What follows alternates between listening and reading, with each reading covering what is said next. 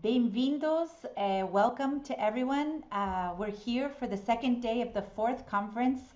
The pandemic is not solely a viral event. And we're really pleased to, to have with us to start the conversations today and to start the intense day of conversations and meetings and, and seminars we've organized. We're going to have a conversation uh, about long COVID with Dr. Alwan. And moderating the session is Professor Anasara Shaferin Levin from the medical school at USP. Uh, Professor Levin is a profesora titular in the medical school and has been an important uh, physician at the forefront of treating COVID in Brazil in, in the medical hospital affiliated with the university. So Professor Levin, it's, it's a wonderful to have you with us uh, chairing the session. Thank you for joining us and thank you, Dr. Alwan. And to let everyone know who's, who's watching us, esta mesa vai ser em inglês, as próximas mesas, mesas do, do resto do dia vão ser em português. I, I turn, turn the floor over to you guys. Um, thank you very much, Florina. Uh, I'd like to introduce Dr. Nazreen Alwan. Uh, she's associate professor in public health at the University of, South, of South, Southampton. She's, her, she's a, uh, qualified in medicine, and uh, then she did a master's in public health, and then in statistical epidemiology, and finally um, a PhD in, in nutrition epidemiology. Her, her, her original um, interest and research interest is uh, maternal and child health. And, but now she has turned during, like all of us, changed our focus. So she has turned to COVID, like all of us, and she's really working in long COVID. And interesting, she has become an MBE, which is the member of British Empire, which is a big honor uh, uh, conceded by the Queen. So now we have a very important person among us. So please, uh, Dr. Alwan. Thank you so much uh, for this lovely introduction. Um, I'm really honored to be invited to speak here. So I'm just going to share my slides. Um, so I hope you can see my slides. Um, so basically, I'm just going to talk for a bit about long COVID. Um, obviously, can't cover everything. It's such a massive thing, but I'm going to share some of my experiences and maybe that will be a point of discussion for further kind of um, points. Um, so yeah, as we all know, uh, when, when the pandemic started early in 2020, um, there was a very much black and white picture, which is very disappointingly uh, and unfortunately uh, we can even see now, uh, two years in the pandemic. Um, but basically, it was the, the narrative was, that, you know, there's a small proportion of people who will get uh, or likely to get COVID um, in, in severe in a severe way um, and have, are at high risk of dying. And the vast majority of us, it'll just be a very mild infection and we'll be fine. Uh, and our role was really to protect those vulnerable population uh, and uh, you know in terms of the whole population role it emerged really actually quite quickly by spring 2020 that that wasn't um, the case and there were a lot of people who were not classed um, in the uh, high risk groups who were getting covid um, you know, getting it at home, not necessarily getting it severely in that, you know, in terms of requiring hospitalization, uh, but not recovering from it for many weeks or months. Um, so not going back to their original health. Now, I was one of these people. I got the COVID symptoms in March 2020 in the UK, when the UK, it kind of spread in the UK in the first wave. Um, I wasn't ill enough to go to hospital. And therefore, you know, the instruction was just to stay at home, isolate, um, and it should be, a, you know, gone in a week or two. Uh, but actually it didn't. Um, it kept you know the symptoms didn't go away. They lasted a few weeks then they felt like they were going to go went away and then they kept coming back which we now recognize uh, in many people with long covid that sort of fluctuating relapsing nature of, of the illness. And that's you know that's where i started really talking about it um, um, talking about um, that survival does not equal recovery. Everybody was really mixing up that if you survive COVID in the long term, you know, within a month of getting COVID, you've survived, then you're fine. And actually, that wasn't true. um, many people weren't recovering, including people who were completely healthy before getting COVID. So I started writing about this from my professional point of view. Uh, I'm an, uh, I work in public health, I work in epidemiology, and what, what really struck me is that nobody was quantifying the illness you know the morbidity from covid that is caused you know causing uh, a lot of people not to go back to their normal functional ability um, normal you know working patterns uh, really changing lives. And, and all we were seeing is quantification of deaths, hospital admissions, intensive care admissions, or number of cases, but nothing about that kind of long lasting, what chronic illness. Um, and I started calling for that. So, um, you know, started calling for counting long COVID. You know, if we can't count this burden of illness, of lingering illness, how can we respond properly to a pandemic if we're only using measures of um, acute effects, which are the deaths and hospitalizations? Um, how can we respond properly? Because the danger is the catastrophe um, is, is, is that having all of these people that will need a lot of care, uh, healthcare, social care, um, unable to be fully productive and caring for others. And that just wasn't counted at all. And actually, We've come a long way in terms of long COVID recognition, but it is still quite disappointing that I think the main narrative is still the same that black and white narrative about just it's just about hospital admissions um, and and the number of deaths. So, what is long COVID? Um, now, we still don't have a very precise definition of it. It is a patient made umbrella term. So, on social media, that was the, the, the, actual term that started to get used in spring 2020. I still think it's an appropriate term um, because it reflects what it is. It's long, it's, it's basically not recovering from COVID. Um, not going back to baseline health, but it could include a lot of things underneath it in terms of what the diagnosis is and also what the severity is. Uh, I would still define it not, as not fully recovering from COVID 19. So you're not going back to the same level of health uh, for several weeks a month. And, and then different guidelines now use different time cutoffs, you know, four weeks, you know, 12 weeks, um, more than, you know, months, six months, whatever. They use different time cutoffs. Um, so you can have these symptoms. They could be the same symptoms um, that you had when eh, during the acute phase of COVID, or you know some new symptoms may develop. And really, the most important measure, I think, is the functional disability that you are not able to do the same things that you were able to do in your day-to-day activity before.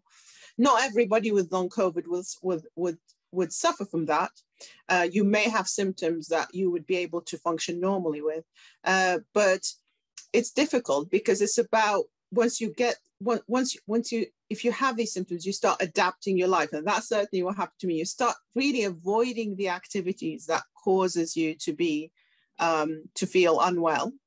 Um, so although you may be maintaining your activity you have changed your life to fit in with the, this kind of new health status that uh, you're in um, so that is everything to do with long COVID is, is difficult to measure, unfortunately. Everything to do with COVID is really difficult to measure. Um, so it could have the symptoms, functional disability. Some people have the, you know, have diagnosis of other things like heart disease or, or blood clots or lung disease, and that's an observed organ damage that they have, you know, having done tests and medical assessments. Um, and it happens in everybody, even in the so-called mild COVID uh, cases, as I mentioned. Um, so the World Health Organization came up with this clinical definition, and I was involved in the, the working group around that as well. And that's only kind of a couple of months ago that this definition was published. It is helpful to have the definition from the, you know, um, a global organization uh, as WHO. But basically, what is it calls it post COVID 19 conditions. Against long COVID has been called different things in different countries. In the US, is called past post acute sequelae of COVID, post COVID 19 condition is the WHO name. In the UK, in clinical guidelines, it's called post COVID 19 syndrome. Um, and um, it's defined, it defines it as a history of probable or confirmed SARS-CoV-2 infection. And, and that probable is very, very important to have in the WHO definition because um, many people uh, like me, loads of other people in other countries just didn't have access to the test to confirm their infection, um, particularly if they had it at the start of the pandemic. So if you don't have that confirmation, lab confirmation of infection, then a lot of people suffered a lot of, you know, stigma, discrimination, dismissal because they just couldn't prove that they had COVID. Um, so it's good that this made it into the WHO definition. And it says it's usually three months from the onset of COVID with symptoms that at least last two months and cannot be explained by an alternative diagnosis. Now that is an issue in terms of the definition because some people might get other diagnoses, but they might be due to COVID. So as I mentioned, you know, if you have a heart uh, issue like a heart inflammation or blood clotting or um, reducing your lung function, that could be a direct effect of COVID. So this is a bit of a gray area in terms of what counts as an alternative diagnosis. Um, there's a whole load of symptoms, a uh, list of symptoms that can happen in long COVID. I'll go into that in a minute. Uh, but the effect on the impact on everyday activity or everyday functioning that I mentioned is important and the pattern of fluctuating or relapsing over time. So that pattern of is, you know, for, for most people, not all people, some people have a really constant level of uh, illness, but for the majority, it seems to kind of go up and down. And it's also linked to the activities that people do. Um, I mentioned the symptoms. So this is a survey that we did about a year ago, uh, which actually confirmed by many other studies in terms of what are the most common symptoms for people with long COVID. Um, the most common thing is what was commonly called in English fatigue, uh, but this is a bit of a vague word in terms of what it means. So in our questionnaire, we asked about exhaustion, feeling of really, you know, kind of a utter exhaustion. But we also did a fatigue scale, um, and and that and the prevalence of that was about 86%. Um, uh, everybody in our survey had long COVID. We just wanted to look at how which one were the most common symptoms. Cognitive dysfunction, worryingly, is a very common symptom, and that includes uh, you know, you know, feeling memory issues, concentration issues, not being able to remember things, what people describe as brain fog, just not being able to focus. Um, and then breathlessness is common, headache, muscle aches, palpitations are common, are common symptom. And then a feeling of either chest pain or chest tightness or chest heaviness that people have. Um, and you can see the list um, here. Um, we compared those who had a lab confirmation of COVID versus those who didn't have a lab confirmation. And the symptoms were, were largely similar. The only one that was different was the loss or alteration of taste and smell. And we think that might be related to actually getting a test because these this is a distinctive symptom. And when people had it, first they, they were allowed to get a test based on the criteria on whichever country but also might be a driver for them to get a test because it's distinctive. So it, it um, so so that's that that's why we think we see the difference here. The triggers are the common triggers are physical activity, stress, uh, sleep disturbance, you know, cognitive activity, so mental activity. So really, it's a lot to do about work as well. You know, actually being able to go back to your full capacity and work. The potential mechanisms are still hypothesized and looked into. Um, autoimmunity could be the uh, uh, uh, kind of um, um, something that most people are hypothesizing about long COVID. And as I said, you know, these mechanisms could coexist um, in the same person, in the same patient, or they could be in different groups of people. Uh, but whether there's some dysregulation of the immune system that is triggering all of the uh, effects um, and it could, autoimmunity could also trigger inflammatory responses. Um, they could tr trigger, you know, hypercoagulability. So that means, you know, increased um, tendency to have uh, blood, co blood coagulation and, and clots. Um, and could be the organ damage from COVID as well. Even the mechanism of having a low level of persistent virus cannot be excluded yet um, uh, because in some studies in people who've had COVID, they've done some biopsies of their gut, for example, and they found viral protein persisting for many months. Um, so these are the hypothesized mechanisms, um, but it's really not, there's no clear answer yet in terms of exactly what's going on. Uh, my, my, my biggest bet is that there is some sort of autoimmune uh, process that is probably linked to these other mechanisms and triggering these mechanisms. But again, you know, that's all still um, open, uh, ongoing research on that. Um, so how common, um, again, there's been, there hasn't been studies, uh, you know, at the start at all. Now we've got more studies. I think just collating and having been following up this, these uh, prevalence studies for a while, I would give this approximate um, prevalence of about one in 10 of those infected uh, with SARS-CoV-2. So that's include everybody because we know a lot of people get infected they're asymptomatic. So out of all of those, probably it's around one in 10 uh, and probably around one in five of those who, you know, are symptomatic when they get infected. It is definitely most common in those who are, have initial severe disease, uh, according to the studies we have so far, but it can happen in, in any, uh, you know, kind of uh, people with any degree of severity at the start. Um, and it seems to be most common in working age adults, which is obviously a big disaster because that means um, lots of issues around productivity and care. Um, but it can occur in all age groups, including in children. It is less prevalent in children as far as we know so far, but it does happen definitely in children. And that is a big uh, big issue because of the widely um, wide, you know, big rates of infection um, in children, certainly in the UK and maybe other parts as well um, in the of the world. Um, so in um, the UK, there's been some estimates, uh, regular estimates for counting long COVID now by uh, the Office for National Statistics, and they're huge numbers. The estimate is what the latest estimate is 1.2 million people in the UK, and out of those, um, uh, about quarter of a million who have limited day-to-day activity due to long COVID as reported by them. So, and that is about 2% of the population. Um, so huge, huge numbers.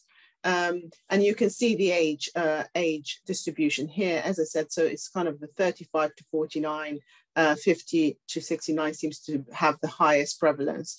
Um, in children, it's less, but it can still happen. And, and given the high number of infection in children, the proportion will be high because, you know, children have high infection rates.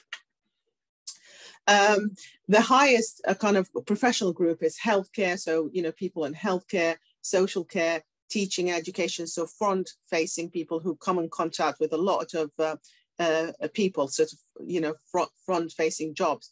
Um, and we've looked at, um, in our survey, we've looked at kind of the loss of income, loss of job, high percentages, but actually we've compared some of these comparisons comparisons are interesting because um, it seems that people, if they have a lab confirmation, they maybe rest a bit more in the first two weeks, um, take time off sick, and whether that is related to kind of progression of disease uh, after. So that diagnosis at the start is really important.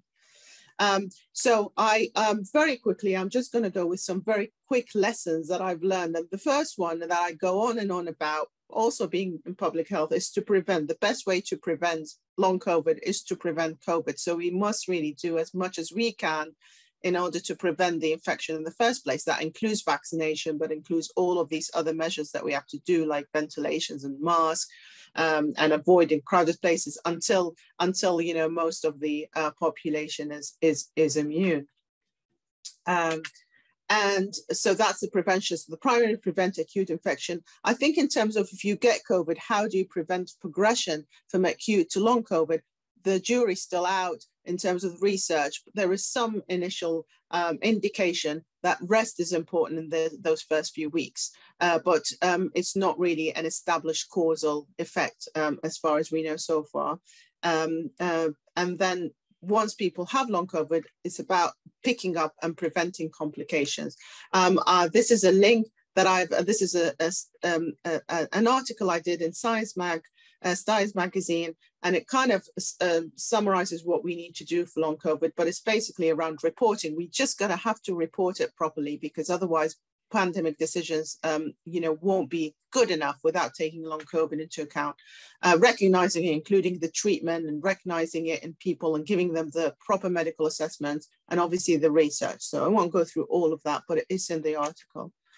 Um, I mentioned reporting, really important that we shouldn't confuse the short-term survival and discharge with full recovery. Most countries don't really assess recovery very well. Um, so we have, I've just put in this from uh, Worldometer kind of um, numbers and you we have a recovery number, but how that's assessed is different in different countries. It could be about testing negative or it's about, you know, discharge from hospital. It's not a good um, measure so far. Um, case definitions, we've come some way now with the WHO definitions and other guidelines. I hope other countries will have these case definitions because it's important, but it's really important that um, we have an inclusive case definition for diagnosis so that people are not excluded from the care they need. Uh, you could have stricter case definitions for things like research uh, and surveillance, uh, but the clinical case diagnosis need to be exclusive. Very important to avoid stereotype. Lots of stereotype been attached long COVID. First, it was like, oh, maybe it just affects healthy people more, people who are really active, but that might not be true because it could be that these people notice, you know, notice it much easier. But also the biggest stereotype is, well, it maybe mainly may, mainly affects middle-aged women. We know that women have higher prevalence of long COVID, uh, but um, not that massively higher than uh, than men. Um, and we know it occurs in um, in all uh, people, and including you know um, very highly functioning professional sports people who have to stop. I've given some examples here. Uh, so it's it, it's in all age group, and we shouldn't stereotype it because stereotyping it means you could um, dismiss the symptoms, uh, as happened with other conditions like um, you know chronic fatigue syndrome, myalgic encephalomyelitis, things like fibromyalgia, other things, particularly that affect women, you know, even endometriosis. These things sometimes don't get a full attention and, and diagnosis. Um, so people need proper clinical assessment, investigation. That's a big burden on the symptoms uh, system, but it has to happen for the patient's sake because they need that solid diagnosis. And that's not only to uh, receive treatment and care, but also for employment rights. I mean, you have to have a diagnosis if you can't go back to work or if you have to reduce your hours or if you have to take sick pay. Um, so there needs to be some uh, uniformity around that. Um, and and this would only then increase inequalities within countries and across countries in terms of you know uh, people um, not being able to um, um, receive the care they need. But these are maybe more likely to be the people disadvantaged by the system even before the pandemic. So you widen the gap.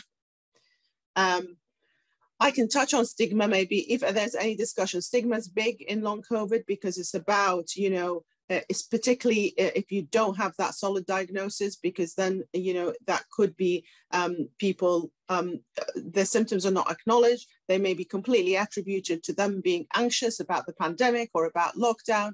And then that would lead to people internalizing the stigma. So feeling like i don't want to go speak to the doctor again because i'm not being taken seriously. Um, so i'll just try and deal with my illness myself and that may lead to more problems in the future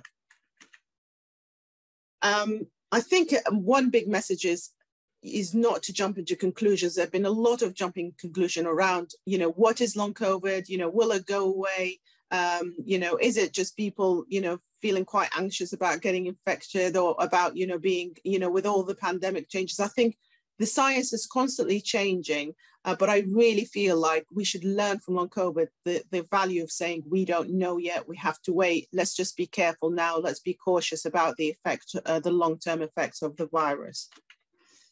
Um, I want to acknowledge the activism of patients of long COVID because without the activism of patients with long COVID, we wouldn't be here.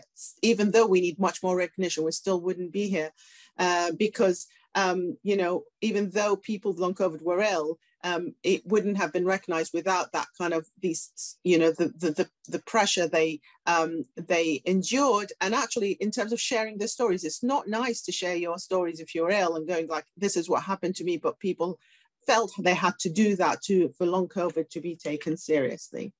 I do hope in the research, in our recognition of long COVID, that other conditions would benefit. Uh, so this is a silver lining uh, because post-viral conditions has his, have historically received very little attention, very little research. And I hope with the pandemic, this big event, global event that we're experiencing and all the after effects of it makes us take post-viral conditions much more seriously and other under-researched chronic conditions because it seems that this, our systems really deal much better with the acute effects rather than the chronic effects and the chronic effects get um, you know to, to some degree ignored so i'll stop there thank you very much uh, i'll just put in some of the articles i've written about long, uh, long covid or around it and I'll just stop sharing.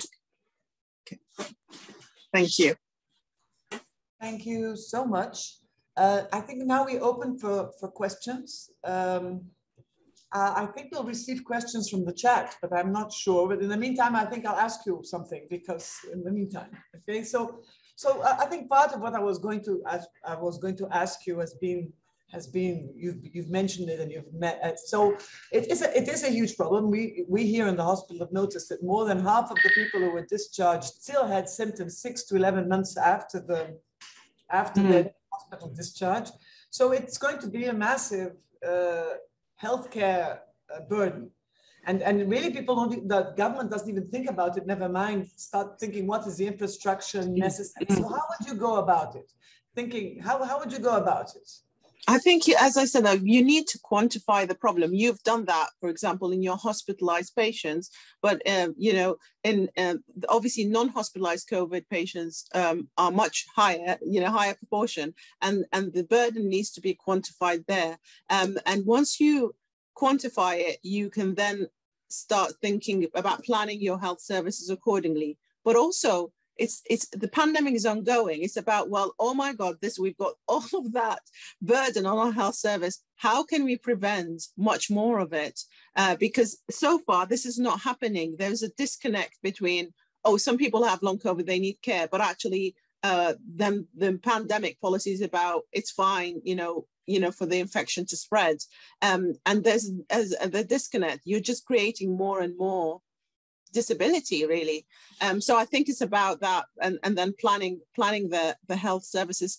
I think there's a there might be some uh, ways around long covid if there is if there are really clear guidelines and recognition and case definitions and pathways of what to do for people. And i think these are quite underdeveloped yet and and there's a huge uh, discrepancy in terms of um, what you receive as care and i think that also depends on the patient if the patient are quite aware of uh, what they want, you know, out of their, you know, um, doctor or health service, um, and they know what they're asking for, um, then they might get something different for somebody who's really don't don't even know that they've got long COVID, but all they know is that their health is deteriorating. So this that's the inequalities bit. If you don't have good pathways, then you will increase that. So I think uh, there, there is a problem with the definition. What goes yeah. in is out. I think, um, and. Uh, there is a then there is the problem of, of, it's a compartment. One has cognitive, the other one has physical rehab, the other one needs, yeah. Uh, you know. So it's it's a very tough problem. Can I ask yeah. you another question? Because okay, it's good in a way to be old enough to remember the Gulf War syndrome. Yeah. I don't know if you've you're uh, you're you know the Gulf War syndrome is something very very strange. It happened with the with the soldiers who came back from from mm. Iraq from the Gulf War. Mm. Mm think about the what they were feeling, it's mm. very, very similar. And it was mm-hmm. also, you know, passed as if nothing was going on and never was very well explained. Mm-hmm. You think that, you know, how, how can we look at it? What happened to all the Gulf people? That, yeah, I mean, that's well, that was my last point about the silver lining. I mean, not only the Gulf War syndrome, we've got people who've got this myalgic encephalomyelitis, um, we've got people, even other conditions, you know, like fibromyalgia, other connective tissue. I mean, there are so many conditions um, that you might have a label for them, but then you don't really not know what to do for them. And that who fits in in that label also is not very uh, well defined. And I think um, I think post-viral in general, um, uh, you know, what, however severe, because post-viral can be very severe, includes organ damage, etc.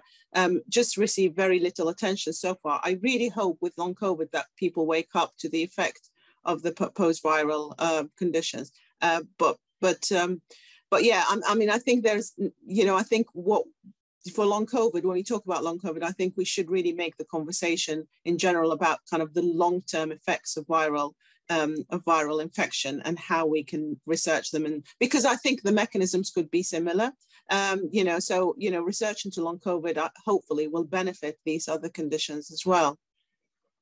I think you asked me another question and I asked and I forgot, but anyway, that was that. That was that. Okay. the chat, and yeah. the question is: although more and more we are vaccinating younger children, there are yeah. some concerns that COVID will become a child disease and not a. a, a, a what do you think mm. about that regarding long COVID in children? Yeah, I'm very, uh, very, very, I'm concerned about long COVID in children. I've written about it. I keep tweeting about it. I'm doing all I can to talk about it because although the proportion out of those infected is the evidence showing us is lower, there are more children getting infected, like you say, you know, becoming a child disease. Um, so, ha- so, so it's about you know if you have loads and loads of children infected, even if the prevalence of long COVID is one percent out of them, that will be bigger. And also they've got longer to live. You know, so we the you know the long term effect we need to protect them as as soon you know um, uh, as long as we don't know what the long term effect is, it one year, is it two years, is it five years, what's going to happen in terms of long term, we don't know. So the precautionary principle really needs to apply for children. Um, people have talked a lot about how children have suffered in the pandemic in terms of school closures, in terms of mental health and education, and I completely agree with all of that. Uh, but I think we also need to add that we shouldn't then use this as an excuse to expose them without any mitigations to COVID, um, and and and because that's another risk for their health as well. Um, and people, children with long COVID, also have their education is affected, their mental health is affected um, because you know they can't go back to their normal selves, and there again no no proper pathways in terms of what do you do for them, how do you treat them, how do you diagnose them, and all of that. It's a big problem, I think, for children that really needs to be uh, recognized. It's not it's not easy because it, it's always a balance of things. But I feel like uh, whenever the conversation is particularly about children, long COVID is really ignored. Um, you, you, need to face it. I think, uh, you know, governments, policies need to face that this is a risk. And if you're going to make decisions about children in the pandemic, you have to factor it in. But let me just take advantage and ask you, uh, what is your opinion about school, schools and children during this time, you know, children in school? So you started talking about this, but how do you feel about that? Yeah, I mean, I think uh, you you need we need to do. I feel we need to do everything we can to avoid the situation of closing schools, which we had earlier in the pandemic, because closing schools is not good. Uh, but then we need to have the mitigations in schools. So, you know, the masks, you know, the ventilation is such a strong mitigation that needs structural changes. And actually, if you improve if you put resources in, improve ventilation, it's not just about COVID, it's about the future as well. All of these kind of respiratory infections that the children suffer from, uh, you could then have this long-term investment. And I think there's a very kind of short-term view in terms of COVID response so far. Um, that you could do more in, in kind of the in, in school and the infrastructure of school. So mass ventilation, trying to avoid uh, crowding, doing more things outdoors uh, you know, particularly if the weather allows, as much as possible. I think people have really, um, you know, that that thinking about, oh, let's get back to normal as, as quick as possible. I mean, we've had this huge events in our lives that we need to learn from, and there needs to be changes to how we do things because these changes could benefit other issues as well, you know, in the future. So yeah, that's my view of school. There needs to be structural changes in schools, um, and that's not really happening um, a lot. And maybe some countries more more than than others, but in the UK, um, you know, even masks are not worn in classrooms. Uh, sometimes, uh, you know, depending on the prevalence, sometimes they're worn, you know, in corridors, uh, you know, where, where, where, children meet, but not in the classrooms. And the ventilation is mainly opening windows and doors, which is quite difficult now. We're in December, um, but we need some structural solutions. Yes. Uh, somehow I feel that people feel the mask is a symbol. So when if I can get rid of the mask, it's over. This nightmare yeah. is over, which is not true. I think just people have to go into a new kind of habits. So there's a absolutely question, agree. Yeah. The question here: How does the UK count cases of long COVID? Does it do it officially? Are there guidelines yeah. at the yeah. NHS to treat long COVID? Yeah, so um, so the main um, body that's counting long COVID is the Office Office for National Statistics. This is not really a um, surveillance counting, so it's not like we're counting all of the cases that you know come to us. It's mainly it's a big study. It's a big survey study that there's a, something called COVID infection survey. It's a big representative sample of the UK population, and then you derive estimates from it. And they've been doing it regularly now where they ask these survey participants about their persistent symptoms uh, because it's a big representative sample then they you know kind of expand the estimates across all of age groups and that's the main uh, the way that, and they've done it in different ways. They've done it by asking people if they think they've got long COVID, uh, or, and, and, and another way where they've followed up those who have got confirmed COVID by, you know, have lab confirmation and also asked them about their symptoms. Um, and you know again whether they've got long covid the first the, the first method is about you know, regardless of whether you have that lab confirmation or not. And the second method is with the lab confirmation. Um, so then they would have these varying estimates, but but all of the estimates are concerning because they are quite high compared to the level of infection. But it's not really surveillance. It's not really the surveillance kind of that I advocate for, which is basically every patient with COVID gets followed up and find out if you've got long COVID or not. It's still a big, it's like a big study where you derive the estimates from. Yeah. yeah. And, and but I, what something really bothers me is the definition. I, I, mean, even if you look at the World Health Organization, yeah. it's a bit vague.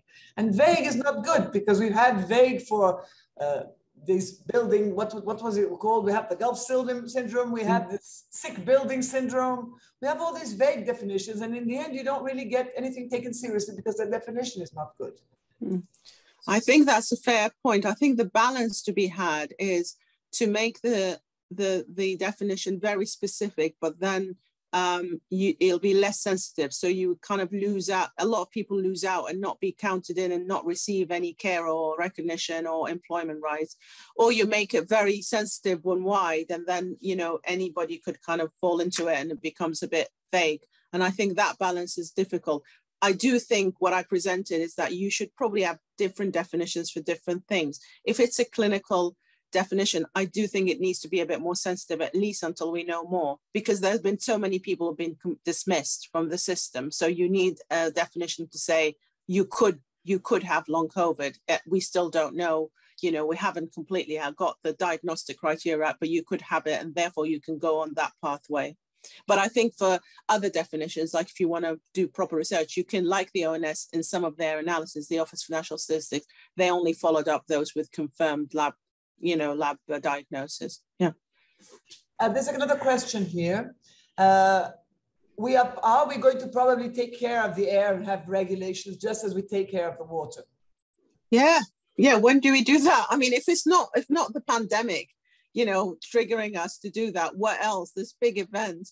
I, I get very frustrated that, um, you know, it doesn't seem to be, there's no enough talk and planning of how can this disaster, the global disaster that we're living in, change, you know, what we normally do. All of the kind of the reactions mostly are very short term um, in terms of what we do now. The cases have go- gone up now, so let's do something now, and then we'll go back. And, and it's just been that kind of yo-yo fluctuating effect. Yeah, we need to take care of the air because it's not just about COVID. We'll have, we'll have, we know that it's likely that we got, we could get other pandemics. It could be more, much more dangerous next time even if we don't have anything new, you know, all of the respiratory flu, you know, uh, flu kind of um, morbidity and mortality could be uh, much better with taking air care of the air. So yeah, big solutions. We need big solutions.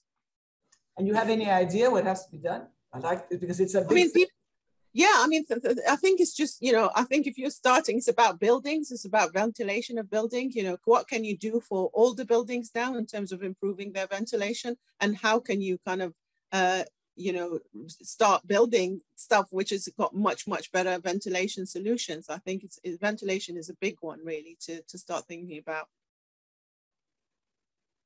Because we know, I mean, the, the, the risk uh, has been characterized well so far, you know, in terms of the risk indoors versus the risk outdoors, even, you know, with the different variants. Um, and I think it's about trying to think of that certainly around, you know, schools and universities and workplaces and everything. Um, so yeah. And, and do you think things that have happened, that all this that has happened in the pandemic is going to change us in a significant way? But it was just making us better. There are some good things. I, I mean, here we've had some good things, but most I don't think there's a, there are going to be many basic changes. At least this is how I feel about it here. Yeah, I mean, we can only be hopeful. Um, I, I think there should be. I mean, it's such a terrible if there are no changes, but yeah, the changes have been slow. We're two years in and there haven't been these big structural changes, lots of reactive stuff all the time, uh, but no big structural changes. But I'm hopeful that, that there are, I think, I think people have, uh, maybe I'm trying, I always try and think of positive things, but one of the positive things is you know how people have engaged more in terms of what's happening understanding you know sort of like more the, of the public engagement um, around you know what's happening you know so maybe change would you know right so if sometimes if you introduce change and people are not completely not clued on and not don't know why you're introducing the change that would be more difficult. But with a pandemic you've got a big why the why is there. You've got that you say because we don't want to have more of this in the future. This is a change. And it's just i think that's that that connection with policy needs to be there.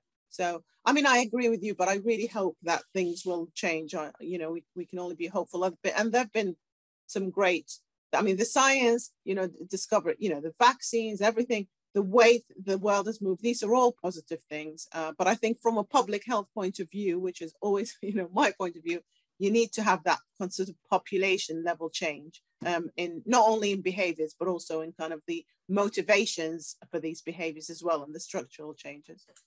But when this variant omicron i'm i, I uh, oh here here's another question sorry how is the uk going about investigating potential mechanisms involved in long covid to be interesting to have multi-center collaborative investigations there have been many studies uh, funded recently in the UK. Um, uh, I'm involved in one of them. There might be there are there are many others. Uh, some of them looking at the uh, mechanisms, some of them looking at potential treatments. Uh, there's been a lot of money put in by the NIH in the US and long COVID studies as well. I think there have been uh, other, you know, multi-center collaborative investigations more and more now. In the first year, that everything was mostly concentrating on acute COVID. There's just more, more and more now. But that that does take, I think it takes a bit of time, and it comes back to the bit about well, what are you, how are you defining long COVID? Who who are you including in, in whoever you in these studies when you're studying long COVID? But yeah, I think it's much better than the first year of the pandemic in terms of finding out. It's likely that it's not going to be one answer for long COVID. Uh, you know, um, it, it's likely that there might be the multiple mechanisms, uh, but that, but they, yeah, they will come. I think. More questions? I mean, uh, uh, do you have any data on the effect of different vaccines on long, on long COVID? Yeah, so um, we've actually i did you know we just just today we've got out a preprint on that. I we i uh, i was involved collaborated with the office for national statistics team. So that same sample of following up of long covid and um and we found um some good good big representative survey. We found that actually there's some sort of sustained improvement after the second vaccine in people with long covid uh, at least within the follow-up period. It might need longer follow-up uh, but within the follow-up period, the, the trend seems to be that vaccines may be linked to improvement in long COVID symptoms. So that's good news.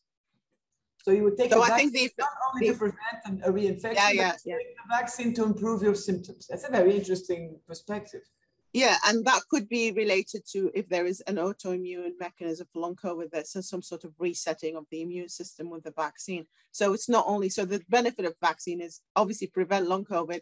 If you do get COVID following vaccine, there is some preliminary evidence that the um, the chance of long COVID is less because obviously you know you could still get covid after vaccine and a breakthrough but the chance of long covid is less. But also if you have already got long covid um, the the evidence so far is it may it may be linked to um, but you know your symptoms getting better at least in the short term. Uh, but we don't have long follow-up data yet.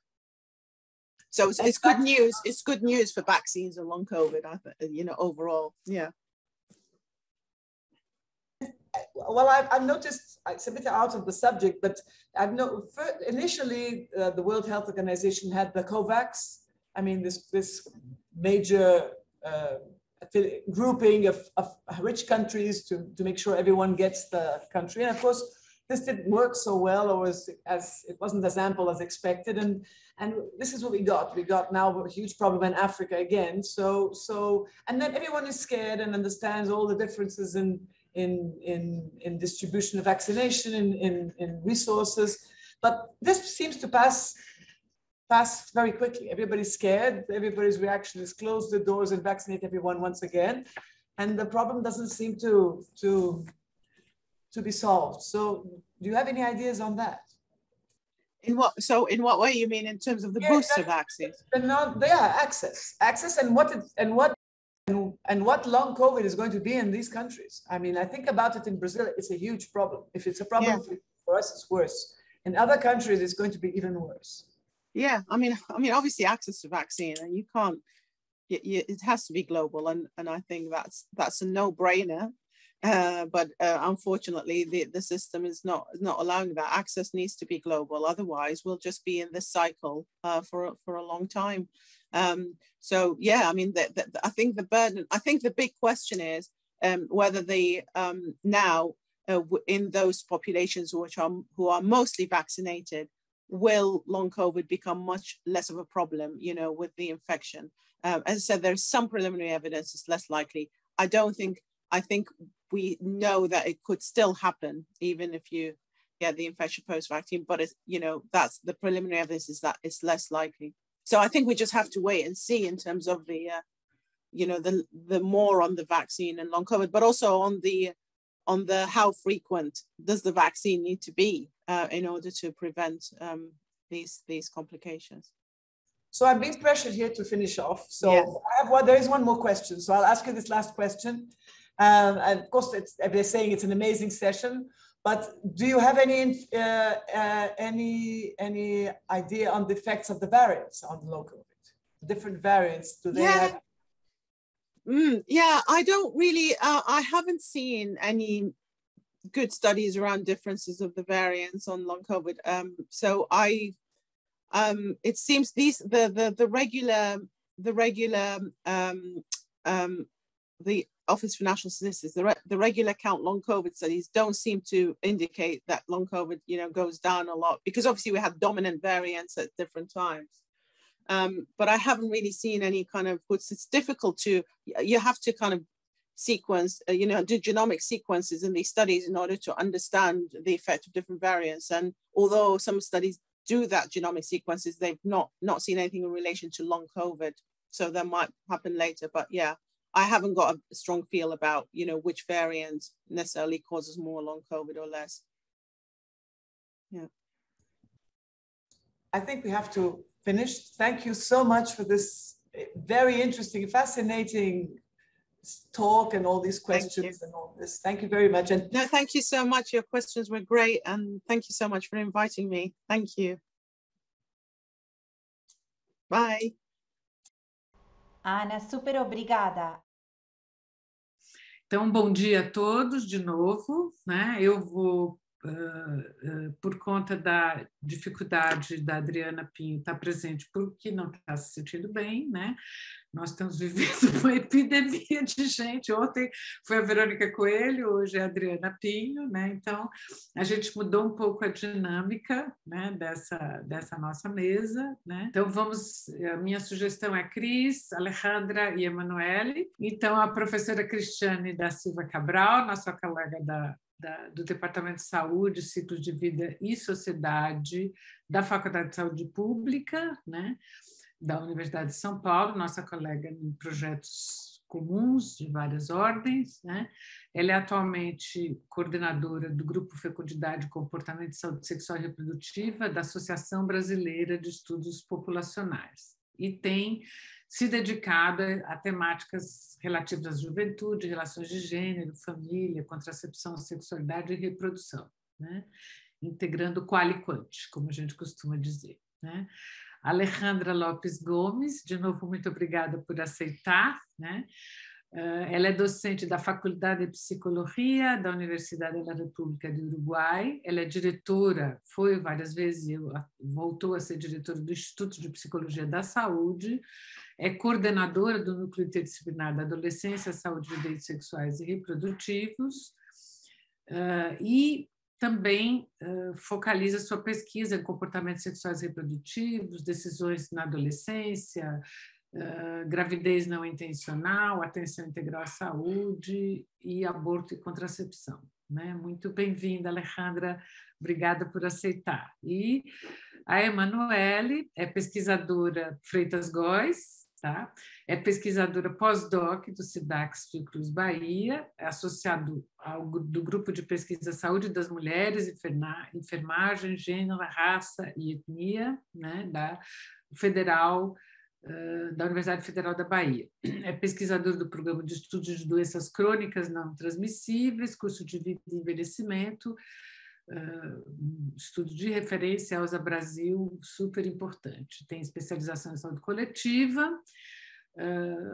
e experiência na área de desigualdade no acesso a serviços de saúde, direitos reprodutivos, racismo e saúde, todos temas super relevantes para o que nós estamos vivendo na Covid hoje. Né? Então, passo a palavra para a Cristiane Cabral. Né? Sérgio, põe para mim o link da, das perguntas no chat, se for possível. Obrigada. Cris, com você com a palavra. Bom dia. bom dia para bom dia, boa tarde, boa noite, né? Igual madrugada, já que o pessoal pode nos vir a qualquer momento. É, mas bom dia, companheiras que estão aqui nessa, nessa mesa. Eu, eu queria realmente agradecer muito a Vera e a Lorena por, esse, por essa mesa, por ter trazido essa temática para esse conjunto né, de, de, de, de seminários que elas vêm organizando que é pensar sobre a pandemia não é apenas evento viral, né? E poder trazer as questões sobre saúde reprodutiva para esse debate, realmente é, dar um espaço para isso foi realmente, acho que um é, um presente e, e, é um privilégio, então, de estar aqui ocupando esse, esse, esse, esse lugar. Então, obrigado realmente pelo, pelo convite a vocês duas, é o espaço do IEA. É, eu preparei uma fala realmente pensando no que a gente vem discutindo né, nesse âmbito da saúde reprodutiva, nesses quase dois anos sobre pandemia, e, a, e essa mescla né, importante desse contexto sanitário e político, os efeitos que a gente vem observando no âmbito da saúde reprodutiva. Né? E aí, para juntar um pouco com o tema da mesa, é pensar nessa proposição da, da perspectiva da justiça reprodutiva como um horizonte ético, teórico e político para a construção de um futuro de uma saída desse caos, né, que ainda é comprometida com os marcos dos direitos humanos, né? Então, é, não, não tem como não falar dessa, desse acirramento né, que a pandemia da Covid traz para o debate né, sobre as diversas desigualdades sociais, raciais e de gênero no Brasil. Né? A, a ingovernabilidade que marca o enfrentamento público dessa catástrofe sanitária tem produzido adoecimento, morte, sofrimento e desinformação desnecessários. Né? Tem uma total produção né, da, da, ignorância, que alguns autores vêm chamando de produção da ignorância, ou da ignorância estratégica, né, em que a, o apagão de dados, por exemplo, em diversas áreas, que não é só de hoje, né, assim, tem um apagão de dados sendo construído, mas de modo bastante intensificado nessa pandemia, né, é apenas um exemplo dessa, desse, dessa, dessa estratégia atual, política atual no Brasil. Né? E as mulheres foram atingidas de diferentes modos, né? Então, sobrecarga de trabalho doméstico, cuidado com os filhos na ausência de escolas e creches, cuidado de familiares doentes ou idosos, além de, de trabalhar, de trabalho para obter renda para a sobrevivência da família, ou seja, seja dentro ou fora de casa, desemprego, né? A gente vem falando dessa exaustão física e mental é, de, de, muitas de nós, né? E de um público feminino em geral, né? E esse, e esse, e esse extraordinário, né? esse momento extraordinário da pandemia, na verdade, é isso, apenas escancara o que a gente costuma falar que é o ordinário, né?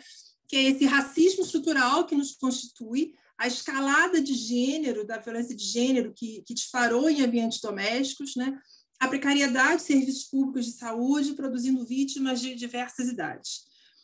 Nesse contexto, as questões relativas ao exercício da sexualidade, e a reprodução ou sua prevenção demoraram para entrar na agenda de debates no Brasil. Né? Internacionalmente, já apareciam logo no início da pandemia inúmeros guias de orientação, protocolos, artigos científicos divulgados por agências internacionais, como a OMS, a OPAS, ONU Mulheres, UNFPA, associações médicas, alertando para urgente, né, para a urgente e necessária manutenção da continuidade da assistência às mulheres, no tocante ao planejamento reprodutivo, prevenção de infecções sexualmente transmissíveis, as ações pré-natal, parto, pós-parto, aborto seguro, né, atenção à violência sexual, acompanhamento de portadoras de HIV. Né? Uma premissa fundamental, como a todos esses protocolos e guidelines, logo desde o início da pandemia, eram, pra, eram votados para gestores em saúde, é, chamando atenção para o caráter essencial e irrevogável né, de ações de saúde sexual e reprodutiva que não poderiam ser descontinuadas na pandemia, a despeito do curso que ela tomasse. Né? Porém, aqui no Brasil, nós vimos um acirramento né, da desarticulação de políticas públicas de saúde e nenhuma disposição para formulação de estratégias que atenuasse as iniquidades sociais, de gênero, raciais, de orientação sexual, geracionais, tampouco um diálogo com a sociedade civil organizada, né, que, que propôs muitas iniciativas para a intervenção nessa crise. Né? Então, serviços foram desarticulados, leitos obstétricos tornaram-se leitos Covid, né? o Fique em Casa né, alterou fortemente a continuidade da assistência, com efeitos importantes sobre, por exemplo, é, a continuidade do pré-natal né, no serviço de saúde. Né? E, ao contrário de, então, de muitos outros contextos, foi somente em junho de 2020 que técnicos da Coordenação de Saúde das Mulheres, junho de, é, primeiro de 2020, que, que esses técnicos da Coordenação de Saúde das Mulheres do Ministério da Saúde, né, lançaram uma nota técnica sobre o acesso, né, com o tema do acesso à saúde sexual e reprodutiva no contexto da pandemia. Porém, no dia 3 de junho, né, dois dias depois, o presidente da República determina a revogação dessa, dessa nota técnica né, e exonera a equipe responsável. Né? E a alegação, então, na época, era de que a nota versava sobre uma postura contrária de seu governo quanto à prática do aborto. Né? Achou-se o aborto no meio da nota técnica. Né? Mas a nota fazia menção somente às três situações previstas em lei de aborto, né? Para interrupção, né? De aborto para interrupção da gestação no país, que nós já sabemos muito bem, né? Que é gravidez decorrente de estupro, caso de anencefalia, quando a interrupção da gestação é a única forma de salvar a vida é, da gestante, né? É, essa nota técnica, ela seguia né, preceitos veiculados pela MS, pela OPAS, vários organismos multilaterais né, de defesa dos direitos humanos, né, no sentido de chamar atenção para garantir manutenção dos serviços de saúde sexual e saúde reprodutiva na pandemia. Né? Não tinha nada nada de, de novo, nem de extraordinário no documento, que não tivesse já no nosso ordenamento das ações, da, da, própria política pública, né? ela apenas cumpria realmente o objetivo de orientar gestores públicos de saúde em todo o país, né? nos mais de 5 mil municípios do país, nesse contexto excepcional da pandemia. É, mas a, a, revogação dessa nota, né, ela indicava claramente a opção né, do, desse desgoverno, vamos chamar assim, de não considerar as ações serviço de atenção em saúde sexual e saúde reprodutiva como essenciais para evitar gestações imprevistas, para evitar abortos inseguros, para evitar mortes maternas, que eu vou voltar a esse assunto, né? agravando muito mais as condições de vida das mulheres. Né? Então, a revogação, na época, ela gerou muitas manifestações de repúdio né, por parte de diversas associações científicas. Nós mesmos fizemos né, uma nota é, também pela, então, pela Abrasco, né, mas é, é, manteve-se a exoneração dos profissionais de carreira envolvidos na elaboração e nenhum outro documento até hoje foi publicado no que concerne assistência à saúde reprodutiva. Né? Na verdade, outros um pouquinho mais draconianos a gente pode falar depois, né?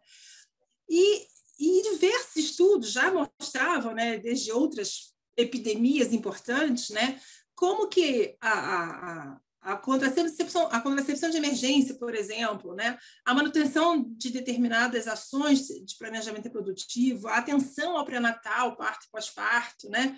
É, são serviços que precisam realmente é, serem mantidos, né? E, e, começa então, né? Vem à tona, né? Assim e aqui também para a gente, né? As, as iniciativas sobre é, ações via telesaúde, telesaúde ou telemedicina é, em, é, no, no, período da, da pandemia, né? É, e a gente também vai ter enfrentamentos em relação a iniciativas, algumas iniciativas em relação a, a, a esse teleatendimento aqui. Né? Então, Situações como, né, a gente viu que situações como descontinuidade do uso rotineiro de método contraceptivo, né, desabastecimento no estoque né, de insumos contraceptivos nas unidades de saúde. Né? Então, vários relatos de mulheres que não encontravam é, seu, seu método, né, assim, dificuldade de encontrar, por exemplo, o injetável, o injetável né, enfim, nesse, nesse caminho. Teve a, a escassez de recursos que a gente viu né, e vê e assiste né, nesse, nesse momento é, é, de crise, né, todos são elementos que realmente podem acarretar né, esse aumento que tanto falavam, que tanto alardeavam e tanto é, chamavam atenção, podem acarretar realmente nesse um aumento de gestações imprevistas. Né? E a gente não tem nenhuma para de solução pela via do aborto, já que o aborto aqui, é, é a interrupção é ilegal. Né? Então, é, diversos documentos chamaram atenção para essa para uma possível epidemia de gestações em função da interrupção desses serviços, né? considerados como não essenciais, e, sobretudo, pensando no Brasil, que apresenta um perfil, né, em termos de mix contraceptivo, que tem uma maior dependência dos métodos de curta duração. Né? Então, nós é, somos, é, privilegiamos, digamos assim, o nosso mix está centrado realmente na pílula, né, na anticoncepção oral, é, tem um acréscimo da contracepção de emergência, no preservativo. Né? Então, é, esse mix contra, contraceptivo, pensando nesse mix, as, as estimativas iniciais previstas para o Brasil era de que quase 2 milhões de mulheres estariam descontinuando o uso de método né, em função da crise sanitária, o que responderia, é, nos cálculos iniciais, por aproximadamente 900 mil gestações imprevistas, 400 mil abortos é, inseguros é, e 1.550 mortes maternas e 20 mil mortes neonatais. Né? Assim, e aí, pensar nas 1.550 mortes maternas previstas lá atrás, há mais de um ano, é terrível olhar, né, apesar de todos os esforços, dos alertas emitidos, feitos em relação a isso, e ver que a gente está quase batendo lá. Né? Eu acho que a Manu vai poder falar um pouco melhor sobre isso, mas é, os nossos índices né, de, de morte materna e, sobretudo, vinculados à Covid, né, como que ele é maior e ele é, enfim, é campeão comparado no mundo todo. Né? É, logo após esse episódio, né, que eu falo da, da nota técnica com os, com os técnicos do, do Ministério da Saúde, né, teve um, para a gente, né, que milita, que trabalha nessa área, teve um outro desagradável episódio, né, que afetou ainda mais a gente que defende essa perspectiva de direitos humanos e da saúde reprodutiva, que foi a nomeação né, de um médico, né, é, para a Secretaria de Atenção Primária à Saúde, do Ministério da Saúde, que é um conhecido ativista ferrenho e contrário ao direito do aborto, que é o Rafael Parente, né? Ele respondeu, na época, uma interpelação de parlamentares federais né, a respeito da revogação da nota técnica, né, dizendo que o Ministério da Saúde entende que o direito à saúde é indissociável do direito à vida, né, já anunciando ali mais uma vez toda a oportunidade que tem para mostrando mais um ponto dessa disputa ideológica em relação a determinados valores né, é, impostos que vêm sendo trazidos por esse, é, por esse pelas pessoas que ocupam a pasta atualmente, né? E aí, eu acho que não é demais lembrar, né, que não foi também ao acaso, né, assim, que em seguida toda essa discussão em relação à nota técnica, a gente teve um outro episódio, né, de grande repercussão nacional e internacional, que foi, né, é, tudo que aconteceu em torno de uma menina de 10 anos, vítima de estupro, né, e que precisou, né, ser, né, a menina do, do Espírito Santo, que precisou ser encaminhada né, para o serviço de referência em Pernambuco, né, para conseguir fazer, interromper a gestação. Né? Uma menina que havia é, uma gravidez resultante de é, uma sequência de abusos feitos por pelo tio dessa, dessa menina. Né? E aí, é, em função desse, desse episódio, né, logo em seguida, né, tem toda uma, uma mobilização também para que se conseguisse né, fazer, interromper a gestação dessa menina, né, por vias legais, previsto em lei, né, assim, o, o, é, o, Ministério publica em agosto daquele ano, né, assim, uma, uma, uma portaria que fala sobre procedimento de justificação e autorização da interrupção da gravidez nos casos previstos por lei no âmbito do Sistema Único de Saúde, em que é, nessa portaria, né, é, obrigava né, os profissionais de saúde a notificarem a autoridade policial o estupro, o estupro né, é, quebrando qualquer tipo de sigilo ético, além de impor, é, pela portaria, a visualização do feto ou embrião por meio de ultrassonografia, né, que também é um outro procedimento absolutamente desnecessário, né, que intimida, constrange e não deixa de ser uma tortura, né, para as mulheres que sofrem violência é, extrema e ainda necessitam enfrentar todo o percurso, burocracia, né, em relação ao aborto legal, né. É, como eu disse, o Rafael Câmara ele vem protagonizando recentemente o um embate contra o funcionamento do primeiro programa de aborto previsto em lei por telemedicina do país, que é uma iniciativa né, de uma médica é, obstetra, feminista, ativista da Universidade Federal de Berlândia, né, que é a Helena Paro, é, e ela consegue, né, por muito bem fundamentada, né, por, por literatura e evidências científicas, né, implantar né, esse, esse, esse serviço de telemedicina para é, atender justamente vítimas de violência sexual é, na pandemia. Né? Mas o Ministério é isso, o Ministério vem tentando dificultar essa iniciativa de todas as formas, né? É, tem um embate em curso, né? Em junho sai uma outra nota também assinado pela essa criatura, né? Dizendo que há uma incompatibilidade entre o teleatendimento e o procedimento de aborto legal, porém com um texto bastante débil, cheio de inconsistências, de interpretações equivocadas sobre normativas e leis vigentes, mas isso isso vai produzindo né, insegurança, vai produzindo dúvidas, vai produzindo, é, enfim, celeumas né, para até mesmo a iniciativa de, em, outros, em outros serviços. Né? Enfim, todas essas iniciativas né, que infringem os direitos das mulheres não são aleatórias, né? mas são esforços extremamente bem articulados de vários ministérios, né? dentre eles o Ministério da Mulher, Família e Direitos Humanos, mas também o Ministério da Educação Relações Exteriores, né, e de representantes do Poder Legislativo na direção da supressão de conquistas históricas das últimas décadas do movimento feminista no Brasil. Né? É, eu lembro que o Brasil assinou também, né, juntamente com outros países ainda em 2020, a tal Declaração Consensual de Genebra, né, que é um acordo internacional para a promoção da saúde da mulher e do fortalecimento da família. Né? E o compromisso né, dessa, desse acordo, dessa declaração, dessa declaração, né, não é o de ampliação de direitos, né, de enfrentamento das disparidades sociais ou das desigualdades em saúde, né, sobretudo em saúde reprodutiva. Não é, né, assim.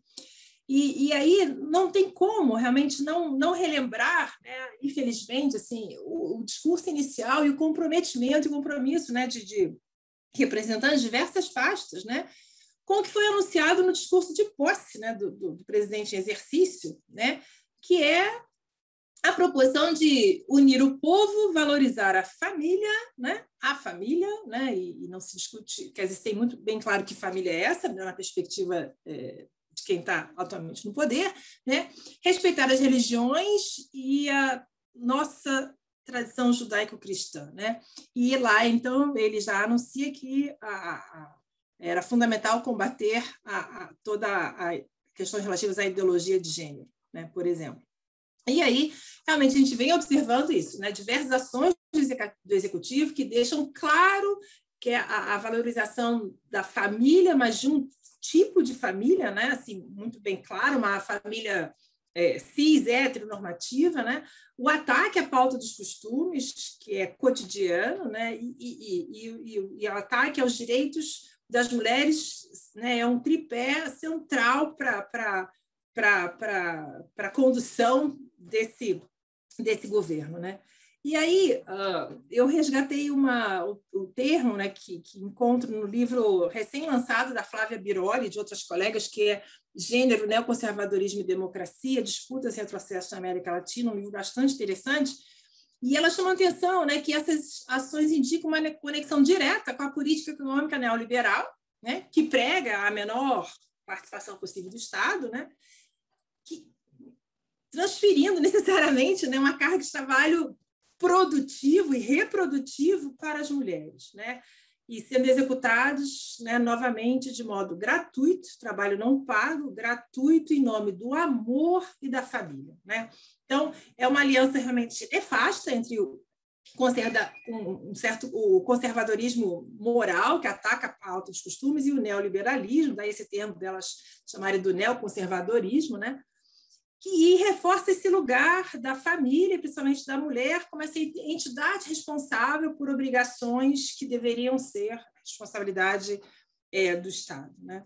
E aí a gente pode trazer exemplos claros disso, né, dessa condução do governo atual, por exemplo, olhando para o Ministério da, da né, o Ministério da Damares, a pasta da Damares, né, em que os recursos estão sendo destinados para o tal programa 5034, que é de proteção à vida, fortalecimento da família, promoção e defesa dos direitos humanos para todos, ao mesmo tempo em que essa pasta ela deixa de usar um, um terço do recurso né, do orçamento autorizado para as políticas voltadas para o combate à violência contra as mulheres, por exemplo. Né?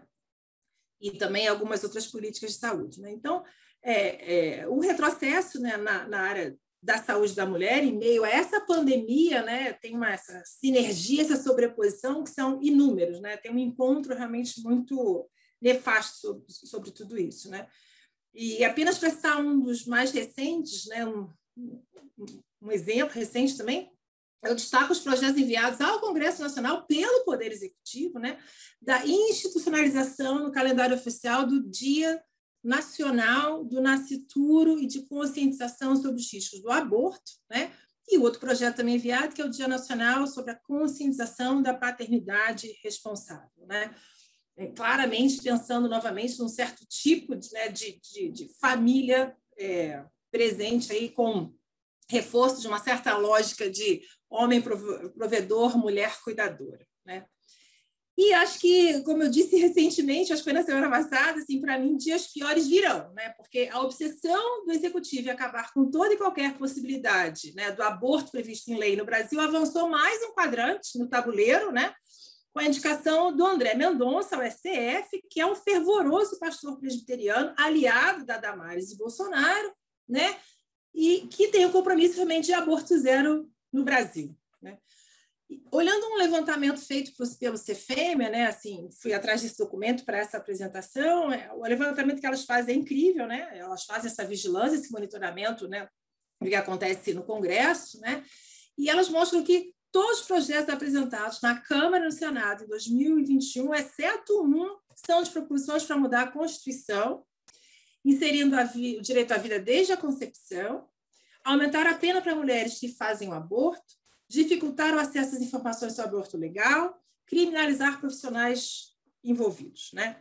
A gente chegou a ter a gente chegou ao ponto de ter uma proposta, é inacreditável, que tem um projeto de lei tramitando que se quer criminalizar a mulher que recorra à interrupção da gestação fora do país, fora das fronteiras nacionais. Né? Então, é, enfim, é, para completar esse quadro desolador, né, acho que pensando nesse descaso público com a proteção da saúde sexual e reprodutiva, é, muitas de nós já denunciaram e vimos denunciando esse aumento vertiginoso de mortes maternas no Brasil, né, associadas à pandemia, quer dizer, os índices de morte materna no Brasil eles estavam estagnados ali em 50, 60 né, mortes maternas por cada é, 100 mil nascidos vivos, acho que é 100 mil, né, Manu? Se você me corrige.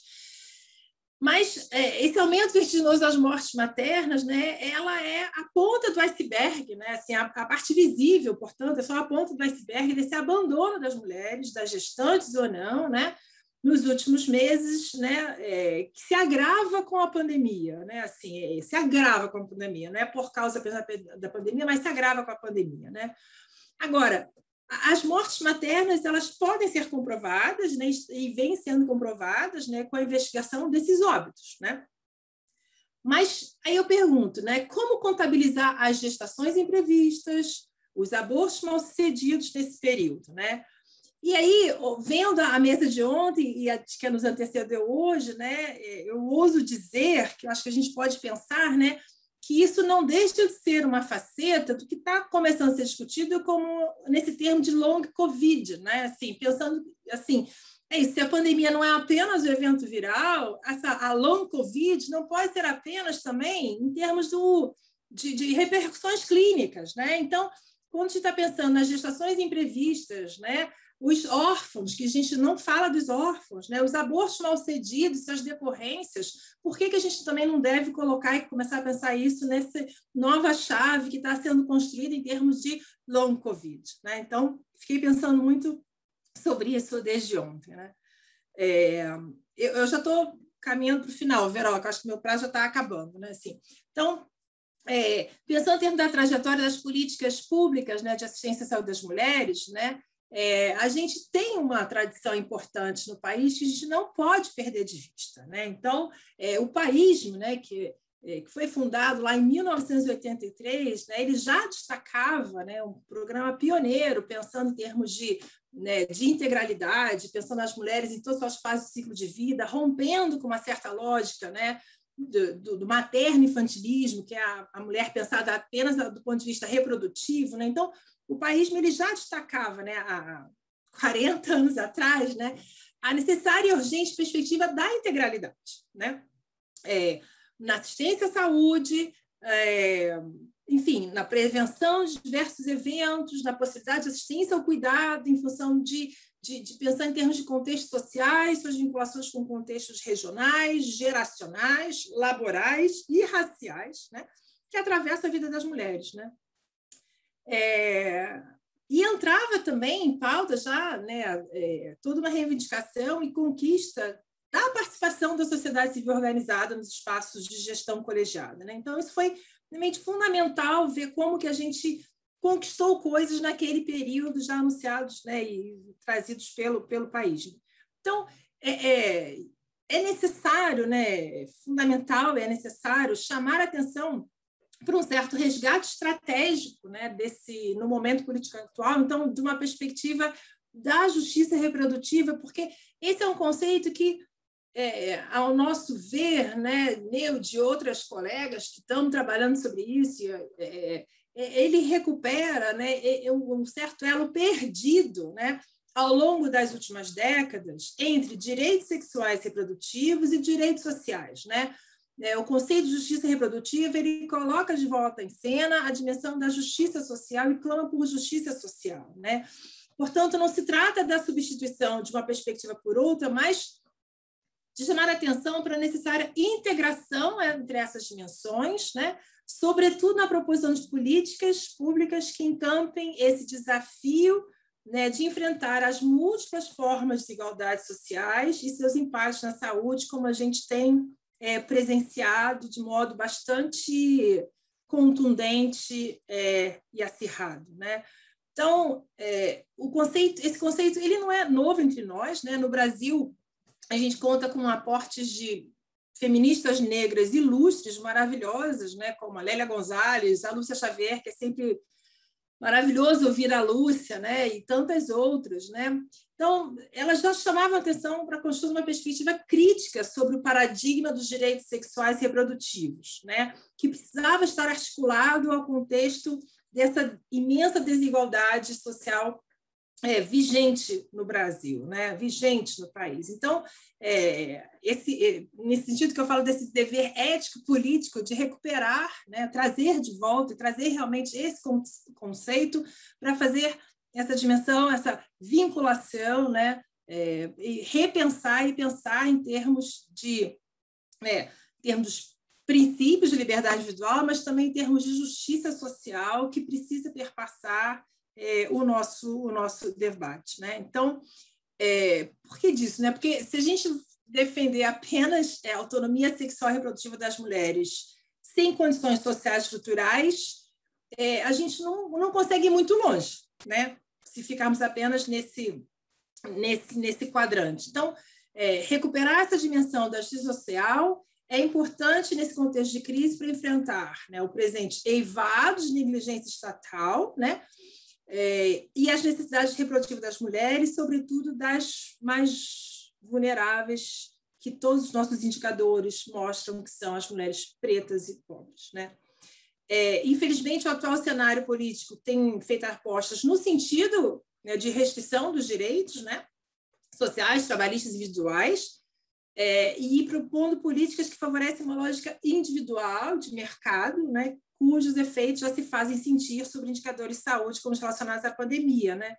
Então, a reapropriação de noções como direitos sociais, justiça reprodutiva, eles são especialmente importantes para a gente pensar a pandemia, pensar a saída da pandemia ou pensar o convívio com a epidemia, né? nesse long Covid também, e também falar da necessidade de termos, sim, olhar e fortalecer movimentos sociais para nos ajudar a pensar, imaginar né, novas formas de esperança de ativismos para a gente ver como lida e como né, mitiga, fazer mitigações possíveis nesse complexo cenário é, sociopolítico sanitário. Né? Então, falar também da importância de ter os movimentos sociais de modo ativos e, e alinhados nessa, nessa batalha, dessa busca por novas construções, né? desse outro mundo, enfim, desse outro mundo que não é um mundo, no nosso contexto, não é só a pandemia, né? é o pandemônio, né? que é a pandemia do Covid e o pandemônio político que se instaurou é, entre nós. É, é, era um pouco isso, Veroca, para poder falar dessa, dessa tensão que a gente, né, da, da, sobre saúde reprodutiva e o nosso cenário político que eu queria falar, para a gente poder começar a conversar, conversar um pouco sobre isso. Obrigada. Obrigada, Cris, foi ótimo. Né? Ainda bem que a gente tem mais tempo, uma pena não ter a querida presente, Adriana Pio, mas deve estar nos assistindo, espero que ela mande comentários. Então, eu passo a palavra para Alejandra Lopes, agradecendo mais uma vez, não só ela ter aceito o nosso convite, o desafio de estar aqui falando numa sessão mix português, mix espanhol, né? Mas ela me diz que entende bem o português, né? Uh, e, mas ela vai falar espanhol e a gente também, as, frequentemente a gente entende melhor o espanhol do que as pessoas que falam carteliano espanhol entendem português. Então, fique tranquila que estamos todos acompanhando. Né? Uh, só lembrar que, uh, não sei se aqui ou aqui no vídeo aparece o link para o IEAUSP Infor, arroba, desculpa, IEAUSP Infor, arroba USPBR, para onde vocês devem encaminhar as perguntas, né? Y yo paso entonces la palabra para Alejandra. Eh, muchas gracias, Vera, por esta invitación. Es realmente un gusto para mí estar aquí con ustedes eh, para conversar, para intercambiar este, em, reflexiones sobre, sobre un asunto que es muy caro para la historia de las mujeres en particular, pero no solo, y, mm, en particular para los movimientos de, de la región eh, los movimientos feministas, de diversidad, eh, son asuntos del campo de los derechos sexuales y los derechos reproductivos, y en particular la, justicia reproductiva son temas que han formado parte, hemos construido, digamos, una agenda social, política, académica, de producción de conocimiento al servicio de esa incidencia social y al servicio de políticas públicas informadas y basadas en las mejores evidencias disponibles. Y, en, em, y bueno, y, el, y, estamos hoy en un contexto complejo, podríamos decir, este, no solamente por el escenario COVID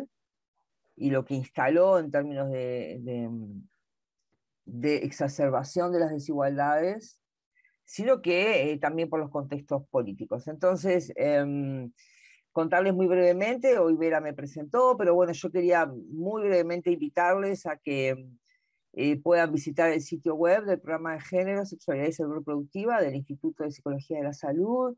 ustedes allí van a encontrar mucha información sobre nuestras líneas de investigación, este, actividades que realizamos, webinarios, en fin, publicaciones. Allí tienen el sitio web y un video de los 20 años de existencia del programa, que narra un poco en unos seis minutos cómo ha sido el desarrollo del programa de género, que es el programa, uno de los dos programas con más años, digamos, dentro de la Universidad de la República, que es la Universidad este, Pública Uruguaya, la, principal universidad, la Casa Mayor de Estudios del Uruguay. Em, entonces, no quiero andar en esto, pero sí quería dejarles el link por si lo quieren visitar. Este, em, eh, allí podrán conocernos un poco más eh, y estar entrar en contacto con nosotros directamente, esto para quienes nos están viendo ahora o que nos verán en el correo de las próximas horas o días. Em, yo voy a, a, ver, organizar una presentación que tiene algunas consideraciones generales, quiero compartirles algunos resultados de un estudio internacional del cual Uruguay formó parte y que tuvimos el gusto de coordinar, y algunos retos a futuro. Em, voy a tomar creo que unos 10, 15 minutos estaría bien, ¿verá? ¿Sí? Ok.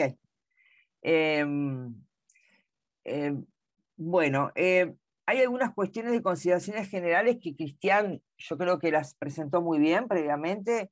Em, esto a los efectos solamente de ubicarnos que el campo de la salud y de los derechos sexuales y de los derechos reproductivos, y es ahí es muy importante, porque es conjuntiva, pero también los distingue un conjunto de otros conjuntos de derechos. Es un campo en disputa y quienes, em, em, y si bien eh, eh, a nivel global y también a nivel regional, eh, y ahora lo veremos un poquito más adelante, han habido en los últimos 20 años, en la era post-Cairo, digamos, podríamos llamarle, ¿no? post-Conferencia Internacional de Población y Desarrollo del año 94, que dicho sea de paso, se van a celebrar sus 30 años dentro de apenas dos años, se ha pasado el tiempo. Para aquellas que hemos estado en estos 30 años, ha sido este, em, sabemos, sabemos que la región en particular ha avanzado en, el reconocimiento político y en el reconocimiento social de estos derechos como derechos humanos. Han habido avances que, que son innegables, pero también hay que observar que es un campo inestable desde el punto de vista de esa consolidación. Y el ejemplo de Brasil es un ejemplo muy claro. Eh, Uruguay es un signo de interrogación, ahora les voy a contar por qué es un signo de interrogación en términos de hacia dónde y en qué medida puede haber un backlash, una marcha atrás, un retroceso significativo en las conquistas que el país ha tenido. Es un campo en disputa. Sabemos que ahí, en el, en el campo de la justicia reproductiva en particular, además, este, es un tema, eh, es una dimensión de la dinámica social, de las dinámicas del poder, especialmente este, relevante em, y donde eh, es un campo de batalla histórico eh, de los, de los, del, patriarcado y de sus conexiones con este, el capitalismo y el capitalismo global actualmente. Entonces, es un tema este, relevante y, y, tenemos que estar siempre eh, atentas, atentos a saber que em, eh, no hay estabilidades en, estos, en estas agendas, hay que estar siempre activamente observantes, activamente vigilantes, em, de, eh, monitoreando de cómo efectivamente esas conquistas se consolidan, se em, legitiman socialmente, se incorporan subjetivamente, se exigen y ese proceso es un proceso de larga duración. Sabemos que es un campo multidimensional, que está atravesado por distintas dimensiones y que eso requiere también eh, investigación, diseño de investigación este, transdisciplinar, esa, esa, perspectiva que nos permite eh, eh, poner a disposición los conocimientos disciplinares, pero ir más allá de esos conocimientos disciplinares y también a través de esos conocimientos disciplinares en el, en el, entre las disciplinas para generar conocimiento nuevo. Y también es un campo de intervención profesional. Em, y aquí hay también un, escenario que hay que mirar con mucha atención, que tiene que ver con cómo se eh, conjugan lo que llamamos las acciones técnicas y las acciones morales y las acciones técnico-moral dependientes, como las ha llamado Lilia Lima Schreiber, una colega de ustedes allí brasilera, este, en cómo, en cómo este, desde una supuesta plataforma de intervención profesional se em, desarrollan estrategias este, moralizantes que lo que buscan en definitiva es disciplinar este, cuerpos y limitar este, el ejercicio de las autonomías. Entonces, hay que mirarlo con mucha atención, las intervenciones profesionales en este campo que se realizan desde distintos ámbitos y desde distintos sectores eh, de las políticas públicas. Este es el panorama para, desde mi perspectiva, donde yo me paro para mirar este, este, este, este asunto que nos convoca hoy. Em, en este escenario, nosotros tenemos un, un, mapa COVID donde América Latina, como ustedes ven en este, en este mapa, que es un mapa de ayer, esperé ayer a, sacarlo en el Data para tener el último mapa el 9, al 8 de diciembre, y como ustedes verán, América Latina, y uno podría decir la región de las Américas, pero lo que nos interesa es América Latina y el Caribe en este caso, eh, tiene eh, una, una, acumulación de casos que es de los más concentrados a nivel eh, global, digamos.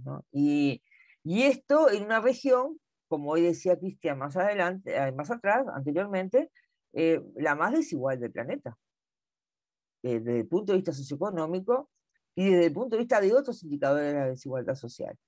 Entonces, em, eh, la pandemia eh, impacta sobre una eh, realidad de brechas socioeconómicas y de otras brechas de desigualdades sociales, de género, de raza etnia, en fin, este, que, la, región, que la región ya tenía instalada como escenario.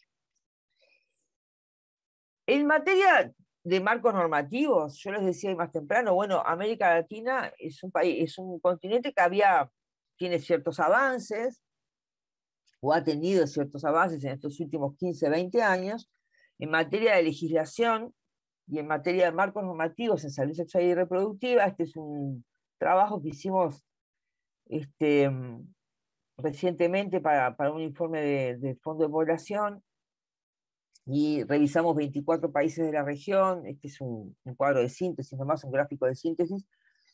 Pero em, a medida que el país tiene más colores, digamos, tiene más, más, legislaciones este, acumuladas, digamos, em, o disposiciones, este es un trabajo que hicimos para analizar em, la realidad del embarazo en niñas y adolescentes menores de 15 años en la región, y lo presentamos hace unas semanas, el 24 de noviembre, 25 de noviembre.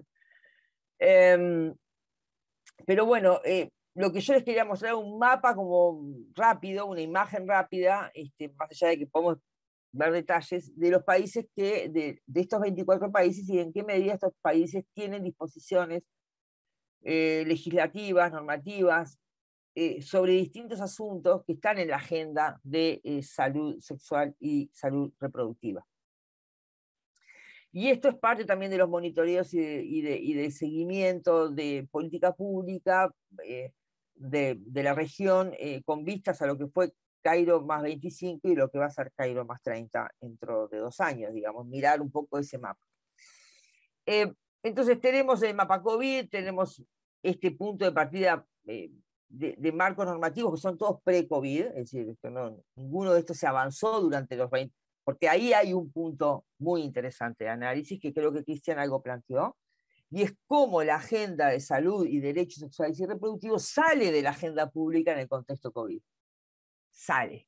Y que quiere decir que salga, quiere decir que sale en muchos planos, incluido obviamente los debates políticos y los debates sociales. Sale de la agenda. Y esto es algo que hay que volver a recuperar, a colocar nuevamente, por eso es muy bienvenido un seminario como este, colocar estos temas nuevamente en la agenda de, los, de nuestros países, en la agenda este, académica, en la agenda social, porque he salido del, mapa de prioridades. Ese es uno de los grandes riesgos que significa sacar un tema tan caro, tan complejo y además tan en disputa, sacarlo, que, que, salga de la agenda pública y permitir que salga de la agenda pública sin tratar de hacer todos los esfuerzos para volver a reposicionar. Algo ya se planteó, pero bueno, hay algunas cuestiones que, mm, es importante repasar. Voy a decirles simplemente em, que, eh, que, nosotros sabemos, hay muchos estudios que muestran el impacto que ha tenido la pandemia en términos de eh, profundización de las desigualdades estructurales y de la exclusión social en la región, cómo ese, em, ha habido un consumo, digamos, de ese stock de resiliencia de las familias y de las personas, del capital social, del capital económico, de los ahorros, de los, de los ingresos, pero también ese stock de resiliencia emocional, la fatiga, el estrés, los impactos en la salud mental y las pérdidas de autonomía también se fueron consumiendo durante la pandemia. No solamente hay un consumo del stock económico, también hubo un consumo del stock de esa resiliencia emocional. Sabemos que los servicios del primer nivel de atención fueron los que sufrieron mayores impactos en términos de recortes, y esto es muy grave desde el punto de vista de la atención en salud. Eh, los informes que tenemos disponibles muestran que se interrumpieron total o parcialmente áreas prioritarias de la salud y en particular la salud sexual y reproductiva. En la encuesta que hace OPS muestra que el 41% de los países reportaron interrupción de sus prestaciones en salud sexual y reproductiva, en particular acceso a métodos anticonceptivos y a servicios de atención en violencia sexual y violencia de pareja. Hay un aumento en embarazo en niñas y adolescentes, se proyecta un incremento en las tasas de VIH, se estima que 18 millones de mujeres perderán el acceso a métodos, perdieron y perderán acceso a métodos anticonceptivos en la región. Hay un incremento ya documentado de violencia de género hacia niñas y, y mujeres, en particular violencia sexual hacia niñas. Hay un déficit reportado ya en la atención en el embarazo, parto y nacimiento y un debilitamiento de las respuestas institucionales frente a la salud sexual y reproductiva en todos los rubros, digamos, que implica la salud sexual y reproductiva.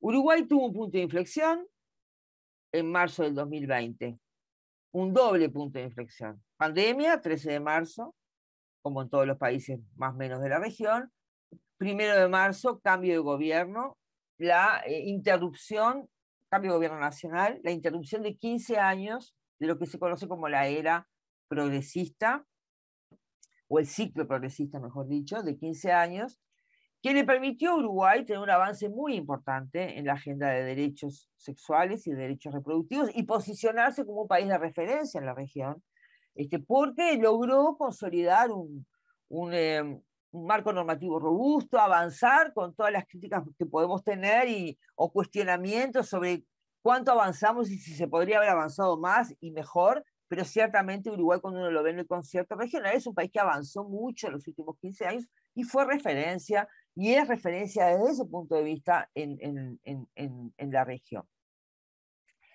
El cambio de gobierno nacional a un gobierno de coalición de derechas y centro de derechas abre un interrogante muy importante en materia de qué va a pasar con el, esta agenda y, em, y en qué medida hay riesgos de retrocesos. Y lo digo como un signo de interrogación porque hoy por hoy em, tenemos algunos indicios, claramente, y ahora les voy a mostrar algunos, pero eh, tenemos que estar alerta, justamente, y lo que estamos haciendo es mirando con mucha atención y con activismo, digamos, desde los distintos ámbitos académicos, sociales, sindicales, para este, eh, estar alerta, justamente, y ir marcando los riesgos de retroceso.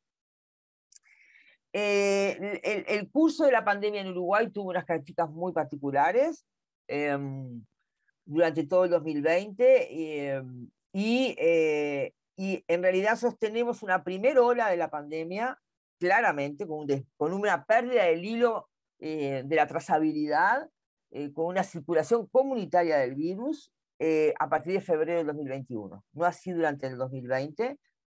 Y allí sí Uruguay se posicionó como uno de los países con este, índices más altos, tanto de casos como de severidad como de muerte, entre mayo y junio del 2021. Y esto lo digo porque eh, los resultados que yo les voy a presentar es una encuesta que implementamos en 2020, en un contexto donde eh, la pandemia en Uruguay estaba eh, suavizada, digámoslo así, ¿no? No tenía la, la expresión que tenía en Europa o incluso ya en algunos países de la región. algunas cuestiones de indicios que yo les decía que nos preocupan, bueno, tiene que ver con, con declaraciones del presidente de la República, como estas, eh, donde define que el gobierno tiene una agenda provida. Sin esto fue en mayo del 2020 y generó mucha preocupación. Estábamos tratando de enfrentar la pandemia y esta es una declaración que aparecía incluso descontextualizada, como era difícil de entender en ese contexto de mayo del 2020 una declaración de este tipo. Em, y eh, esto recibió una reacción muy rápida, ¿sí? De distintos actores y, bueno, y eso este, mm, eh, generó como una cierta corrección, entre comillas, de, lo que eh, el presidente había querido señalar. Bueno, em, y em, los servicios de salud sexual y reproductiva han continuado funcionando con el déficit que han tenido en toda la región, no un déficit de desmantelamiento, sino un déficit de un primer nivel de atención disminuido, retraído, em, en casi todos los servicios de primer nivel de atención y en particular en salud sexual y reproductiva también, y una discontinuidad de la Estrategia Nacional de Prevención de Embarazos en Niñas y Adolescentes, que ha sido una estrategia de buena práctica reconocida a nivel regional entre el año 2016 y el 2020 y que desde el marzo del 2020 está bajo suspenso, digamos. ¿no?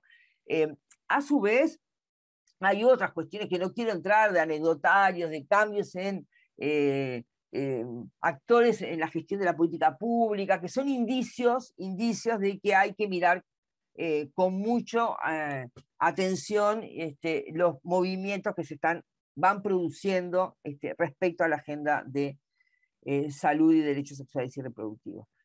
rápidamente contarles de esta encuesta internacional, que es una encuesta que tuvimos el gusto y tenemos el gusto de participar, porque estamos todavía procesando datos. Este, y la encuesta internacional sobre salud sexual y reproductiva en tiempos de COVID, liderada por la Escuela de eh, Medicina Tropical y Higiene de Londres y por la Universidad de Ghent en, en Bélgica. Em, nosotros participamos eh, por, liderando el estudio para Uruguay. Este estudio eh, participaron 32 países, lamentablemente no participó Brasil, hubiera sido genial que Brasil formara parte, hubiese formado parte de esta iniciativa. Em, eh, este es un estudio eh, que em, se basó en una encuesta online a través de las plataformas ODK.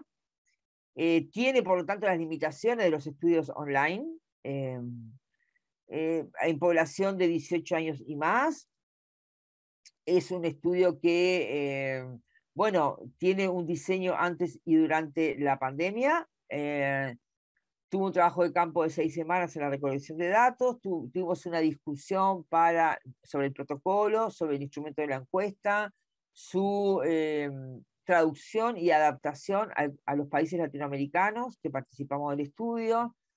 Em, bueno, fue avalado por los comités de éticas correspondientes en los países, en fin.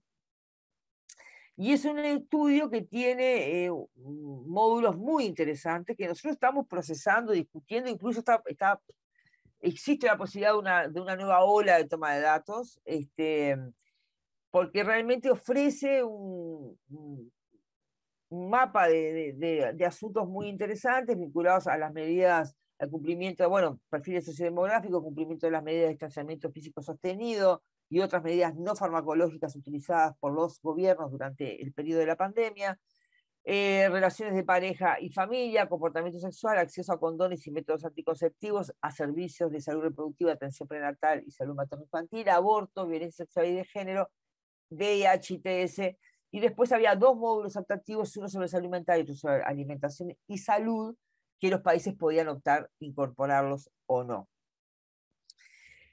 Eh, ustedes pueden encontrar, hay algunos artículos ya publicados, estamos trabajando en otros, este es un artículo que salió en el Lancet, allí está el diseño del protocolo, este, con todas sus características y cómo fue la implementación y cómo está haciendo el análisis de los datos. Eh, también aquí tienen otro estudio que presenta el protocolo de manera más detallada. Y eh, contarles rápidamente que nosotros en el caso de, de Uruguay trabajamos con los criterios generales que había, habíamos acordado a nivel internacional. Eh, tenemos una, un tamaño de muestra de 673 casos al, al, punto de corte para el procesamiento de los datos. Em, hemos hecho campañas en Facebook e Instagram y eso fue muy importante para la captación porque fuimos haciendo campañas direccionadas este, a los públicos con más dificultades para captar, que fueron fundamentalmente, eh, bueno, varios públicos, pero en particular los varones, eh, para decirlo, eh, son, sabemos que son de los grupos más este, resistentes, entre comillas, a responder encuestas sobre estos temas, y en particular encuestas online.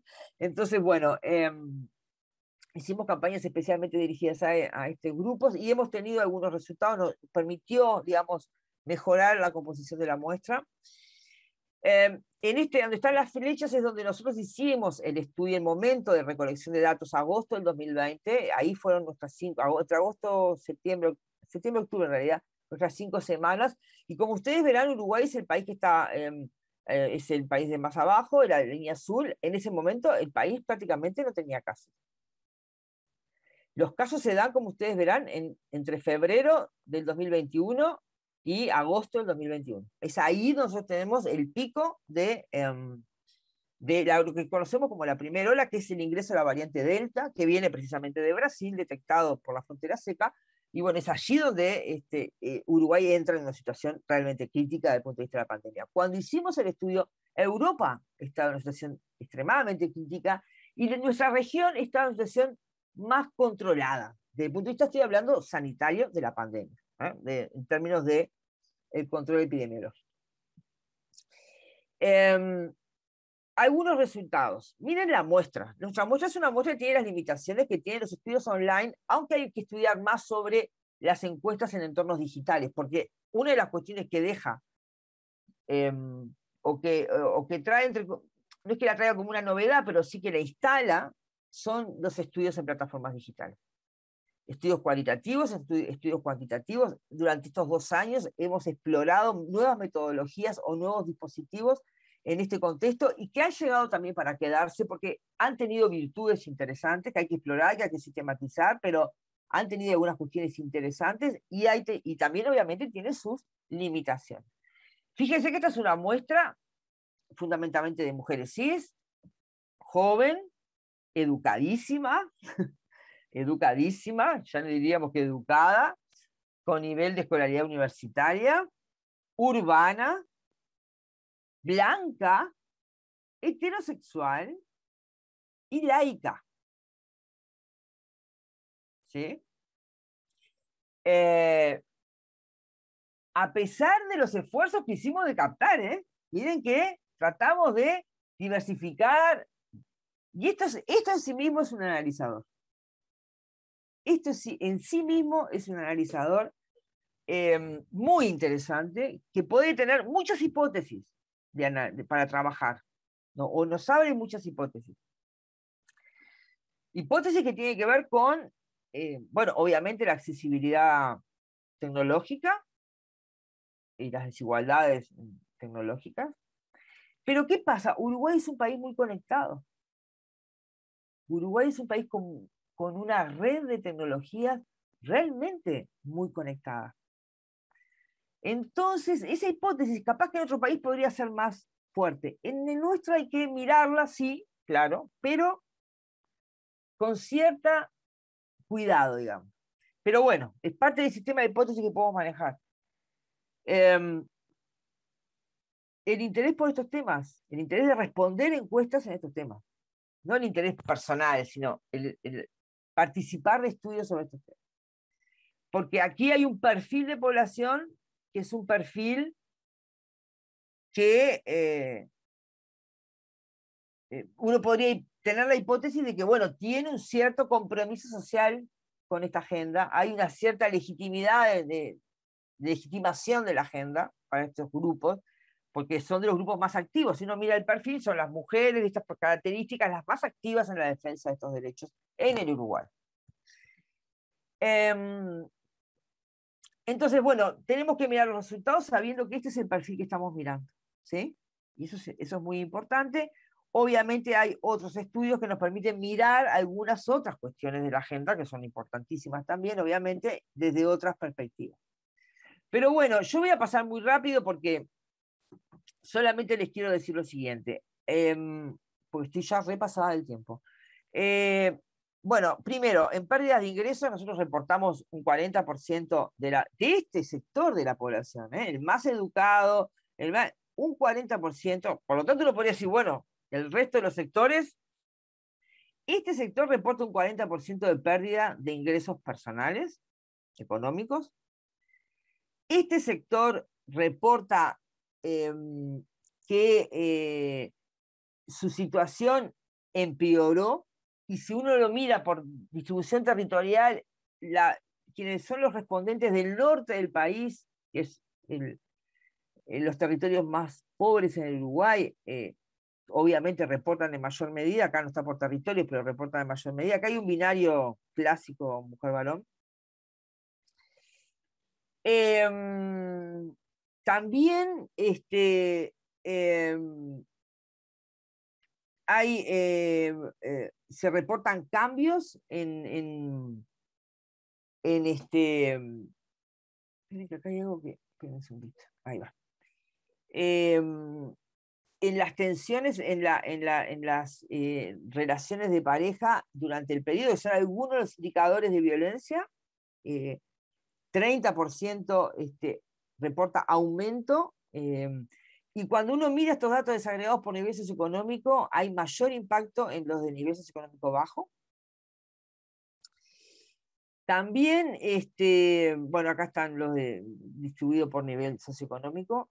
Em, también hay cambios en el apoyo emocional de la pareja durante el COVID. Hay una, este, eh, en particular, este, las mujeres reportan cambios en ese sentido en, la frecuencia de las actividades este, sexuales eh, hay una mm, disminución general de la actividad sexual con pareja estable, pero también lo hay con parejas casuales, lo cual era esperable, digamos, pero bueno, también lo hay con parejas estables. Si lo que incrementan son las de nunca o eh, mensual o menos de frecuencia. También hay un aumento en los eh, niveles de satisfacción general Em, de insatisfacción perdón, general a nivel sexual. Em, en, esta, en, este, en, este sistema, en este modelo de pre-COVID y durante la pandemia. ¿sí? En, en, en, materia de uso de condón no, no observamos eh, muchas diferencias. Estamos mirando un poquito más en detalle este, este asunto, tanto con pareja estable como con pareja no estable. Estamos mirando un poquito más estos resultados. Sí, eh, y tampoco hay grandes diferencias en el acceso a métodos anticonceptivos. En el Uruguay, a pesar de que los métodos anticonceptivos forman parte de las prestaciones de salud sexual y reproductiva hace ya muchos años, la población suele acudir, acceder a los métodos a través de, eh, a través de, los, las farmacias comerciales. Esto es, un, histórico en el Uruguay, ¿no? No, es, este, no es de los últimos dos años, ese, patrón no ha cambiado sustantivamente. Em, y em, también tenemos algunos datos sobre vulnerabilidad en el hogar, eh, eh, que obviamente las mujeres reportan mayor vulnerabilidad que los hombres, este, en, este, en este binario hombres-mujeres, que es lo que nos permite hacer realmente la encuesta, porque hacerlo de otra manera no tendríamos eh, posibilidad de apertura de los datos. Em, y después cambios en, la, eh, en, en, depresión autopercibida también hay variaciones y fundamentalmente esta, esta, esta, estas variaciones tienen que ver con, este, eh, hay incremento, digamos, en, en, la, en la autopercepción de la depresión, fundamentalmente en los departamentos del norte del país, que son estos departamentos más deprimidos en términos socioeconómicos, pero también tiene un impacto en la depresión y el bienestar emocional de la población. Em, podríamos presentar muchísimos más datos, podemos conversarlos en el intercambio. Eh, tenemos otros datos sobre acceso a aborto, no de la encuesta, porque la encuesta tiene un N muy chico para ver aborto. Sí tenemos los datos de aborto país, que en todo caso los podemos compartir en el intercambio. ¿Qué ha pasado con el acceso a la interrupción voluntaria del embarazo en Uruguay entre estos últimos dos años? Tenemos los datos del 2021. Em, y em, y también podemos este, presentarles los datos sobre fecundidad eh, en adolescentes hasta el 2020. Eh, que los tengo en otra presentación por si los queremos ver. Algunos temas que tenemos en la, en la agenda de la discusión actual. Bueno, por un lado tenemos que analizar, profundizar en los análisis pre y post pandemia. Esto es una primera aproximación que estamos compartiendo ahora. Hay algunos eh, análisis que requieren de otro tipo de estudios, que este que tenemos no nos, lo, no nos lo permite por las limitaciones que ya les conté, pero que tienen que ver con el análisis de los impactos en temas claves de la agenda. y los temas claves de la agenda desde nuestra perspectiva son algunos de estos que están aquí marcados, aborto, embarazo en niñas, pensando en justicia reproductiva, ¿eh? aborto, embarazo en niñas y adolescentes, violencia de género, violencia sexual en particular, bienestar emocional y salud sexual y reproductiva, la necesidad de incorporar enfoques interseccionales, que ya hemos hablado de esto.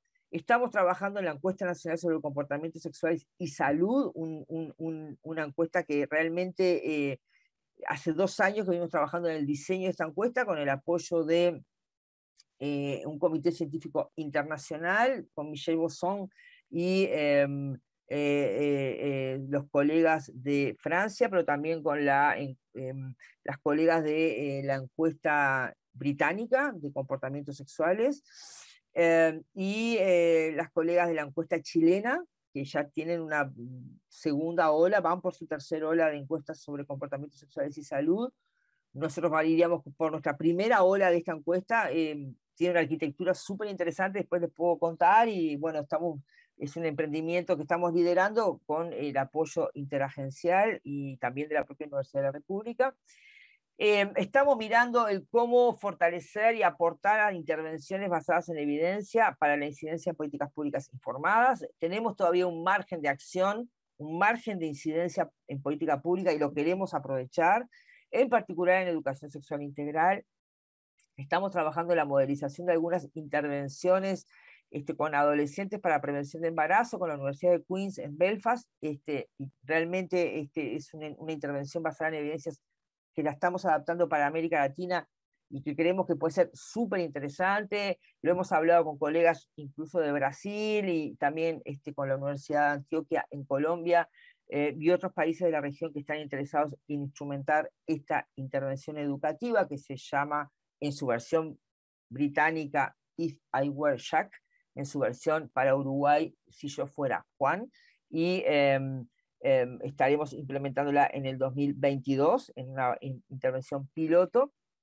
Y el trabajo que siempre hacemos mancomunado, articulado con la sociedad civil este, para el fortalecimiento de la exigibilidad ciudadana de los derechos sexuales y de los derechos reproductivos, y una, una, una mm, perspectiva sobre la que estamos trabajando hace ya un, par de años, les diría, que es este fortalecimiento del desarrollo de una agenda de investigación que conjugue el análisis de historias mínimas en tiempos de Big Data. Nos parece importante tener este approach de mirar los grandes números, pero al mismo tiempo trabajar en recuperar las voces que están detrás de esos grandes números. Entonces, este, eh, con esto quiero cerrar, en la agenda de salud y derechos sexuales y reproductivos, recuperar las voces de los, detrás de los grandes números es muy importante y tenemos que aprender a trabajar con los grandes números, pero también con las voces que están detrás de los grandes números. Con esto termino, les agradezco muchísimo y disculpen que me extendí más de lo previsto. Muito obrigada, Alejandra. Perfeito. Muitos dados instigantes e uma agenda uh, importantíssima. Quem sabe a gente consegue interagir né, desde o Brasil. Muito, muito obrigada. Emanuela, você, Emanuele, obrigada você por ter aceito o nosso convite. Uh, você com a palavra. Bom dia a todos que estão aí nos assistindo, né, né, participando dessa audiência que tem, tem sido né, interessante, importante, necessária. Né? Eu queria inicialmente agradecer né, ao convite de estar aqui dialogando com, com é, pesquisadoras e ativistas importantes na cena é, do, da discussão dos direitos sexuais e reprodutivos. Né? Então, eu, eu fico muito é, honrada mesmo em estar aqui fazendo esse diálogo. Né? Eu, eu até me sinto contemplada em muito que Cris trouxe, né, a Cris Cabral e, e a Alejandra também, porque as dimensões aí mundiais que tocam é, mulheres do, do, sul global, mulheres, né, é, que mulheres em geral, porque a dinâmica do que aconteceu da crise da, da, da essa crise sanitária, ela atingiu as mulheres em diversas partes do mundo, né? O relatório da ONU Mulheres nos revela isso. Então, é, e aí eu me sinto muito é, feliz em compartilhar, não em relação ao tema, né? Mas em relação à resistência de tudo que é, vem acontecendo com a gente, a gente está aqui encontrando meios e formas de, de, de é, caminhos, né? Encontrando saída, buscando saídas é, para a sociedade. Então, eu vou tentar é, fazer essa, essa discussão do, do, do, início né, da pandemia, um pouco do que a pandemia é, apresentou para a gente e, e agora, né? Onde é que a gente, o que, é que a gente faz com tudo isso, né? É, eu fui uma das primeiras pessoas que escrevi sobre a questão da desigualdade, que não era, é, todo mundo falou que estava né, todo mundo no mesmo barco, e aí eu meio que irritada com isso, sem dados nenhum, mas sendo uma pesquisadora da área de desigualdades raciais e do racismo, obviamente sabia que não, não seria assim, porque nunca foi, né? Zika vírus não foi, H1N1 não foi, né? A HIV AIDS não foi, não é. Então, eu é, fiz, escrevi sobre isso, sobre é, as desigualdades que não, as desigualdades raciais e que as pessoas não estão no mesmo barco, né? E, e aí, a partir daí, a gente vai refletir todas as questões que a, a pandemia e as medidas é, sanitárias é, de forma uma, são medidas universais e que não olham as dinâmicas interseccionais de gênero e raça e que elas foram é, é, é elas foram é, impostas, né, sem olhar dimensões, realidades, né, das pessoas. E aí ao mesmo tempo que nós todas sabemos que em tempo de crise, seja sanitária, seja econômica, né, seja ambiental, as mulheres e meninas são as primeiras e as mais atingidas, né? E seus direitos também. E aí tudo isso que a Alejandra vai falar, né? Como é que tudo muda, chega na pandemia e há retrocesso porque não está na agenda central, não está. E aqui também a gente é, é, viveu isso de forma mais aguda, né? Porque a gente já estava vivendo retrocesso antes da pandemia, então isso se agudizou, né? No momento da pandemia. A gente vai, vai viver tudo isso que a Cris trouxe, né? E, e eu estava falando esses dias na conversa com é, o lançamento de um projeto, né? De um grupo de pesquisa de gênero, é, que eu me senti em uma, uma maratona, né? agentes feministas e ativistas, né, parecemos que estávamos numa maratona, porque tinha a pandemia com tudo que tinha e tem, é, a gente ainda tinha que lutar por, pelo, pelas, coisas que estavam acontecendo, sem, porque nada era levado em consideração. É o que eu estou dizendo. A gente viveu a história da, da menina de 10 anos que é, precisou, né, todo um movimento para ela conseguir realizar um aborto legal, né, e a gente naquela, tendo que fazer tudo isso em meio ao pico né, da, da pandemia, com as mortes, né, as milhares de mortes. É, a gente viveu é, a questão dos métodos, né, a portaria que, que saiu é, pra, é, praticamente obrigando o uso de, método, de, métodos contraceptivos de longa duração para mulheres, mulheres é, cidadãs positivas, né, HIV positivas, mulheres em situação de prisão, é, mulheres em situação de rua, toda aquela, aquela portaria que não usa a palavra obrigatório, mas a gente sabe que ali tá, né, quando você define quem são as mulheres, né, mulheres em situação de vulnerabilidade, elas elas vão estar expostas a uma, a uma obrigatoriedade, né? E aí essa portaria também vem aqui e coloca a gente para pensar que a gente não consiga, para além de ter que pensar nessa questão da, das medidas universais que as mulheres estavam sofrendo estar em isolamento e sofrendo violência e está, né, não conseguindo fazer distanciamento e, e, tendo que manter o trabalho doméstico e aí falando das mulheres negras em particular, tudo isso que tem a ver diretamente com, com o processo das medidas, é, é, das medidas universais necessárias, mas que não conseguia atingir todas as pessoas. Para além disso, estávamos vivendo esse processo aqui das, dos retrocessos, das medidas, dos avanços poucos que tínhamos, né? Então, a gente teve, teve essa portaria, a questão do aborto legal da, da menina do Espírito Santo de 10 anos, a, a questão, o caso de Adriele, né, em Florianópolis, a, a da é, jovem que em situação de rua e que teve um parto cesárea, que quando ela teve a criança, tiraram a criança dela, ela nem conseguiu ver a filha, e esterilizaram ela também no mesmo momento. Então, tem esse caso que ainda está aqui, né? E a pobreza menstrual, né? O veto da disponibilidade de absorventes é, para as mulheres e adolescentes né, privadas de, é, de, de, renda todo, em vários contextos. Então, e aí, é, dessa aqui, da, da, da, da, do, da proibição da liberação do absorvente, lembro da fala da ministra, que perguntou: vocês querem absorvente ou vocês querem vacina? Né? Então, como é que pode pensar essa dinâmica onde as nossas, é, é, é, nossos direitos e as nossas necessidades básicas são colocadas em uma coisa ou outra. E isso é para poder a gente pensar, e aí de forma mais é, é, global, a discussão da tirania do urgente, né? Em que você vem com a medida universal, vem precisando resolver a Covid, não pode matar todas as pessoas, obviamente que não pode, a gente precisa resolver a Covid.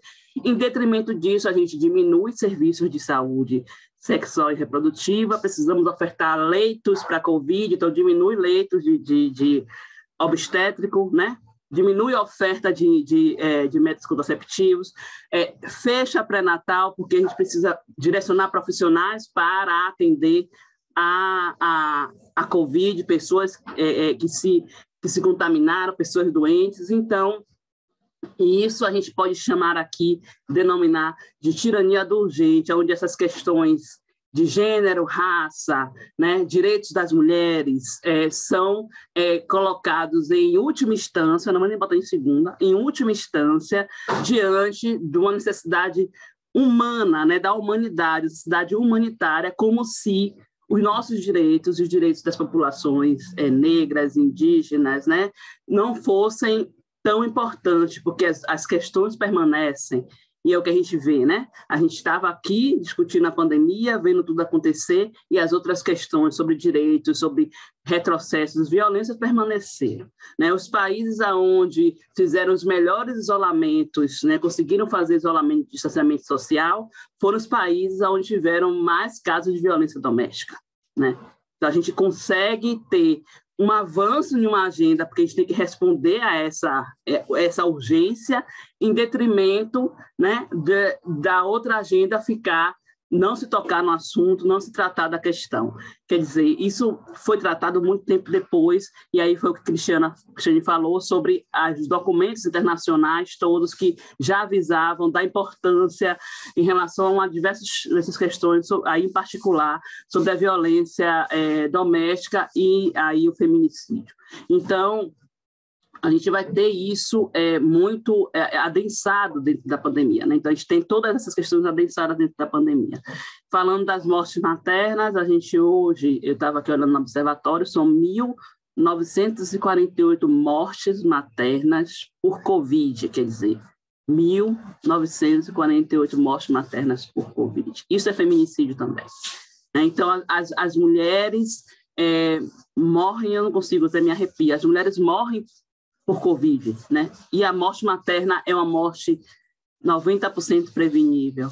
E a gente está falando de mulheres que morrem hoje ainda, né? É, e há um tempo já com a vacina instalada no país, já com o processo de vacinação acontecendo e que demorou tanto foram muitas idas e vindas para que, mesmo com experiências anteriores, H1N1 está aí para dizer para a gente né, o que foi a morte materna também na H1N1, né, e mesmo assim, isso não foi levado em consideração para, como prioridade para as gestantes e puérperas, e, e com isso muitas morreram, né? ainda, ainda morrem. É, de morte materna por Covid, e a gente não vai falar aqui, porque né, eu nem sei como, se formos falar disso, é mortes maternas que as outras, né?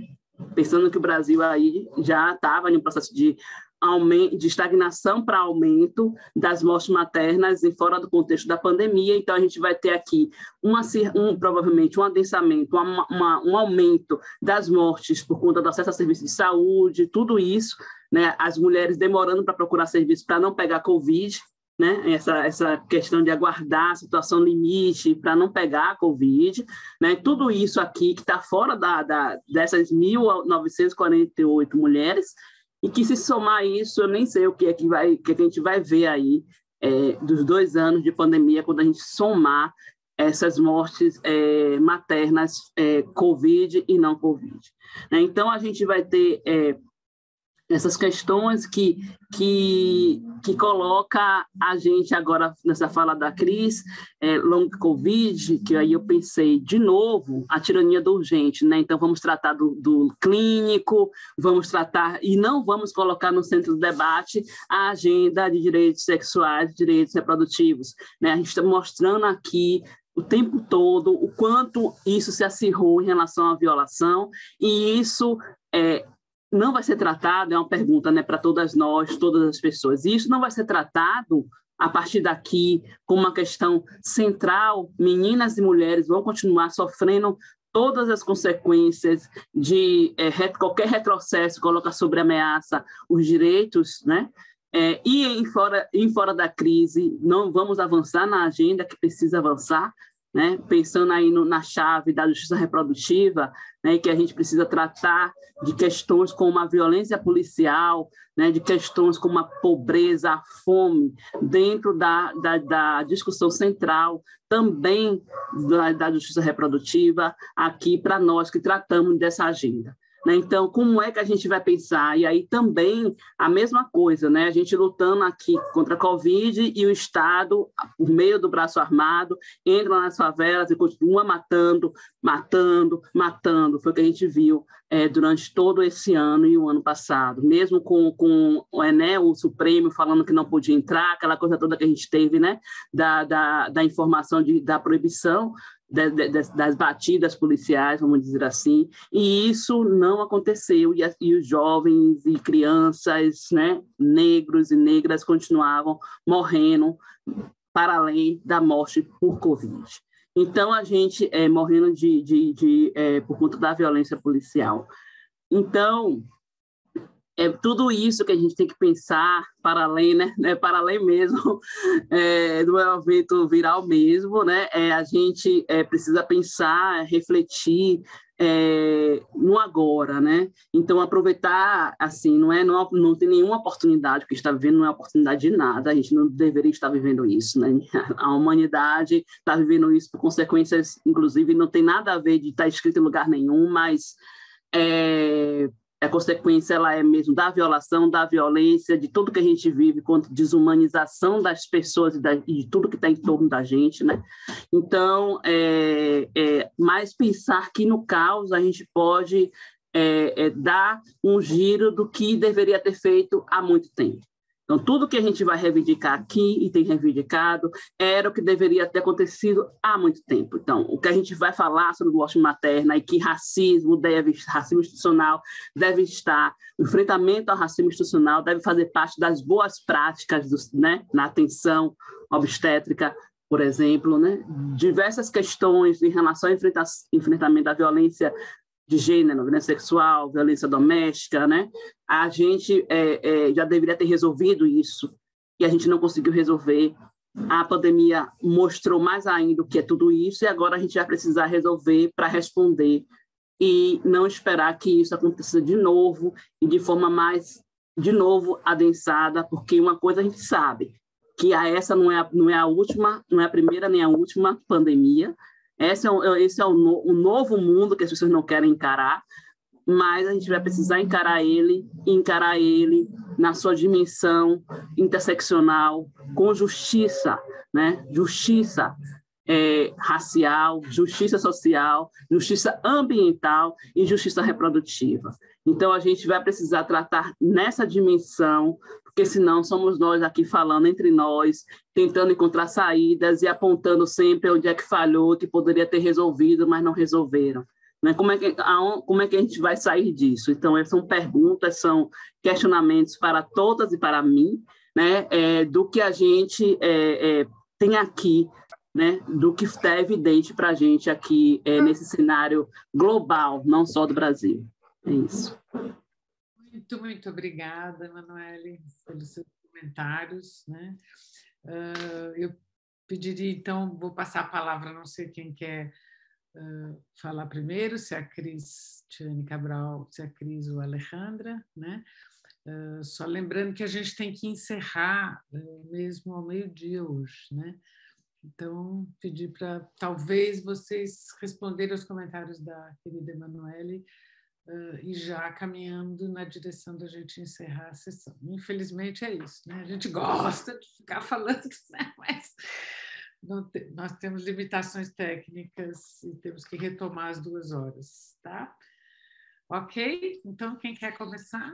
Eu começo. É, vamos lá, assim, é, obrigada, Manu, assim, é isso, adoro te ouvir, né, assim, mesmo, mesmo, e eu acho que você traz, é isso, é um desafio imenso, que eu acho que a gente tem que também, é, realmente é isso, assim, né, ponderar, já que tá, estamos construindo, né, essa lógica, né, finalmente, né, acho, acho que uma iniciativa super importante do IEA, né, de pensar, olha, chamar atenção, né, não é só um evento viral, então, por que, que a gente não pode, então, pegar essa onda que está vindo forte de pensar o long Covid e aproveitar isso para colocar de volta né, os temas sobre saúde reprodutiva e saúde sexual na agenda, a despeito do contexto político? Né? Porque o nosso maior, eu acho que realmente assim, grande, tem um grande enfrentamento a ser feito pelo menos no Brasil, mas não só, porque tem um giro à direita né, na América Latina, né, a Europa, né, tem, tem uma coisa para a gente compreender esse momento do mundo, né, esse momento civilizatório, digamos, que está é, difícil, e tem alguns tentando compreender. E, e então, é, é, é, trocar o pneu com o carro andando. Né? Então, é entender isto e criar realmente estratégias de como colocar de volta essa temática na agenda. Né? Então, é, eu não tenho solução para isso, né? mas eu imagino que cada vez mais tenhamos que nos fortalecer em termos de redes colaborativas, sabe? Para poder realmente botar o assunto na roda, chamar a atenção para essas dimensões, porque realmente como é que a gente faz essa vinculação? Não tem como não vincular com o plano político, né? A gente precisa desse braço do Estado né, para pensar em políticas sociais, políticas ambientais. Né? Então, como fazer resistência né, a, a, a, desgovernos como a gente tem vivido aqui e acolá, né? É, como que a gente pode se agarrar em algumas esperanças, né? Então, é, eu acho que a gente precisa realmente de tá, ter esse diálogo, acho planejar realmente uma agenda forte, né? E aí eu acho que novamente é uma aliança, né? Da academia e movimentos sociais para pensar uma agenda forte de pesquisa, mas também de intervenção, sabe? Com essa pauta, né? Porque é, é, é uma forma possível, pelo menos que está na nossa alçada, né, alcance possível em termos de enfrentamento e resistência, né? Então, eu acho que você chama atenção para isso, né, é fundamental. Então, né, é isso. Assim, eu gosto disso. Esse novo mundo é um novo mundo, né, esse, novo momento civilizatório a gente precisa realmente levar a questões sobre justiça ambiental, precisa levar a questões sobre racismo estrutural no Brasil. Não, não dá mais para adiar isso, não dá mais, não dá mais. Né? É, precisa levar a questões sobre justiça social e, e, compreender melhor o que a gente está chamando dessa justiça reprodutiva. Né? Então, eu agradeço muito assim, o seu apontamento e acho que fica esse clamor para que a gente, como pensar, assim, temos que ter oficinas de trabalho assim, quase que ah, lá, início dos anos 80, que pensava a redemocratização, o que fazer, onde atuar, onde intervir, precisamos recuperar isso, sabe? Assim, com oficinas de trabalho, quais são as estratégias, quem vai para onde, porque é isso, somos, somos poucas e muitas ao mesmo tempo, mas né, é tanta, né, tem tanta onda grande vindo que a gente tem que fazer né, o contra, o contra né, a, a, do refluxo, né, temos que conseguir produzir. Né? Então, é, super obrigada, a gente está caminhar, então obrigada de novo, Vera e Lorena, pela, pela oportunidade, pelo espaço e por ter trazido, né, portanto, o tema para essa agenda, né, fundamental. Sí, brevemente, eh, gracias, Emanuel, por tus comentarios tan sabios y provocadores. Eh, yo quisiera eh, reafirmar un poco la reflexión también de Cristian o su respuesta, porque creo que, a ver, este, yo creo que estamos en, en, en, un mundo este, que nos está planteando retos enormes desde el punto de vista de lo que implica como cambio civilizatorio, que hay que trabajar en esa dirección, este, e, en, en un mundo en el que mm, se han generado producto de este capitalismo global modificaciones profundas en, los modos de producir la vida, la cultura, la sociedad, este, cambios en las vidas cotidianas, en las subjetividades, ¿no? Este, em, eh, lo que implica desde el punto de vista del conocimiento, de las tecnologías, este, al mismo tiempo con este, profundas desigualdades. Yo pensaba, ah, se habla de sociedades del conocimiento, sociedades de la información, sociedades ¿no? postindustriales, sociedades tecnocientíficas, hay distintas maneras de caracterizar a las sociedades actuales, también sociedades posmodernas líquidas y demás, o hiperconectadas, esta revolución ¿no? digital de las tecnologías que tiene impactos directos en, en las corporalidades también, y al mismo tiempo esto coexiste con desigualdades sociales no digamos, profundas de todo tipo, de desigualdad social, con violencias, guerras, masacres, vulneración de derechos individuales, de derechos colectivos, devastación del planeta, explotación sexual intensiva de los recursos, aislamiento, padecimientos emocionales, y bueno, y las pandemias, epidemias, sindemias, y los impactos que esto tiene en la salud. En ese contexto hay que repensar la salud sexual y reproductiva y los derechos sexuales y reproductivos. Es en ese contexto, que no fue el contexto que, este, en el cual dimos la batalla, ay, perdón que se me ponga la cámara, en el cual dimos la batalla en la década de los 90, ¿no? Este, de todas maneras, pienso que hay que volver a aquel texto fundante de Petreschi y Correa sobre los derechos reproductivos, un marco feminista. Porque creo que a pesar de estas transformaciones que somos protagonistas, ahí hay claves fundamentales desde el punto de vista teórico para este, robustecer esa categoría, porque es una categoría teórica, pero es profundamente política. Y es una categoría que orienta la acción política. También orienta las agendas de investigación, también orienta las políticas públicas y debería orientar las intervenciones también profesionales. Entonces, el, a mí me parece que tenemos un reto en todos los planos. En el plano teórico, conceptual, de cómo reposicionar estas categorías en un mundo que es distinto a cuando se, comenzó a impulsar allá por la década de los 70, en la segunda ola del feminismo, el derecho, los derechos reproductivos, en la necesidad de repensar estrategias de incidencia, porque hoy también los feminismos son muy diversos, hay distintas formas de desarrollar estrategias de incidencia política. Hay otros actores que también trabajan en estas agendas.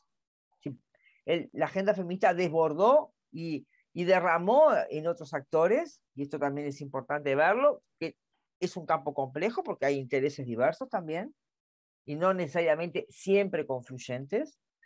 Este, hay actores en contra de esta agenda, claramente identificados, eh, en términos de Em, sectores conservadores y ultraconservadores. Hoy están mapeados, identificados, los conocemos, también son estrategias globales, la estrategia de ideología de género, hay que trabajar con esto, y hay que mirar también el, el cómo incidir en las políticas públicas con los mejores conocimientos que podemos generar. Ahí la alianza, sociedad civil, movimientos sociales, academia es fundamental, porque la academia llega este, después a estos temas, y eso hay que ser siempre, tener ese reconocimiento, ¿no? Este, que primero llegaron los movimientos de mujeres y feministas y la academia llega después, y e, ese reconocimiento es parte también del fortalecimiento de la gente. Bueno, estamos muy pasadas de hora. Disculpen. Emanuela, Emanuele. Na verdade, eu não vou, eu não vou estender, eu só vou dizer é, que nós estamos numa disputa, né, de, de sociedade, eu acho que neste momento, é, e que é, é, isso, né, Cris? Estamos na disputa de sociedade, então é uma disputa de humanidade, né? E, e é este o momento que estamos vivendo, pelo menos é a minha perspectiva. E, e, agradeço muito a fazer esse diálogo aqui com vocês mais uma vez. Espero poder também colaborar, estar juntas em outros momentos, em momentos mais festivos, inclusive, né, é, encontrarmos presencialmente e comemorarmos né, um novo momento, um, um momento de esperançar. Então, fica aqui o meu agradecimento. Muitas graças, igualmente. Então, muito, muito obrigada. Estão me ouvindo? Então, isso. Uh, a próxima, quem sabe, a gente vai almoçar junto ou vai tomar uma caipirinha. ou a Montevideo. Las puedo invitar a Montevideo também. Mas agradeço muitíssimo vocês terem aceito o convite, estarem trazendo a questão da justiça reprodutiva né, eh, para nós aqui, que é fundamental de ser integrado. Eu concordo com o que foi dito aqui nas abordagens sindêmicas que a gente precisa ter, né, eh, inclusive na sindemia do cuidado da long covid, tem que ter a questão da saúde reprodutiva, ela é fundamental, né? E creio que a gente pode, com isso, estar fundando outras redes colaborativas, como uh, você, a Emanuele, ressaltou. Né? Eu acho que é um modo de produzir. Acho que uma das coisas que a gente quer com esses eventos é estar estimulando né, essas redes colaborativas. Outros fizemos com a University of Southern California, hoje a gente faz Bahia, Uruguai, USP, né? E quem sabe isso perdure. Eu só queria, então, agradecer a todos o apoio do IEA até agora e lembrar que a gente retoma né, na parte da tarde, às 14 horas, conversando com Natália Pasternak, que é um, um, debate sobre a comunicação pública sobre a pandemia de Covid e o que, que a gente aprendeu com ela. A Natália que foi nossa aluna na USP, hoje é uma figura importante né, na, na, nas mídias uh, brasileiras para falar de Covid, moderado pelo colega uh, Ayrton Escobar, que é do Jornal da USP. Às 14h30, a gente vai ter uma mesa super relevante para a política pública, que, é, que não existe, que é a testagem como política pública. Quando é que a gente vai conseguir, né, com secretários da saúde, experiências de secretários da saúde, né? Eh, e, e, e a moderação uh, da Maria Cláudia Stocker, que estava aqui com a gente até agora há pouquinho, né? e o encerramento às 16h30, onde eu eu vou apresentar, uh, junto com o professor Zé Ricardo Ares, o que a gente tem pensado sobre os desafios de uma abordagem sindêmica para a prevenção integral da Covid, uma noção nova que a gente está tentando uh, produzir, né, uh, em termos da, no, no, âmbito da concepção de integralidade. Na verdade, eu vou falar, uh, não muito tempo, o professor Zé Ricardo vai comentar e a gente encerra essa experiência do ano de 2021 de tentar mostrar e debater a Covid, que não é apenas um evento viral. Então, um abraço a todas. Essa foi uma mesa mulheril, né? Estamos juntas e continuamos juntas. Muito obrigada, gente. Muito obrigado.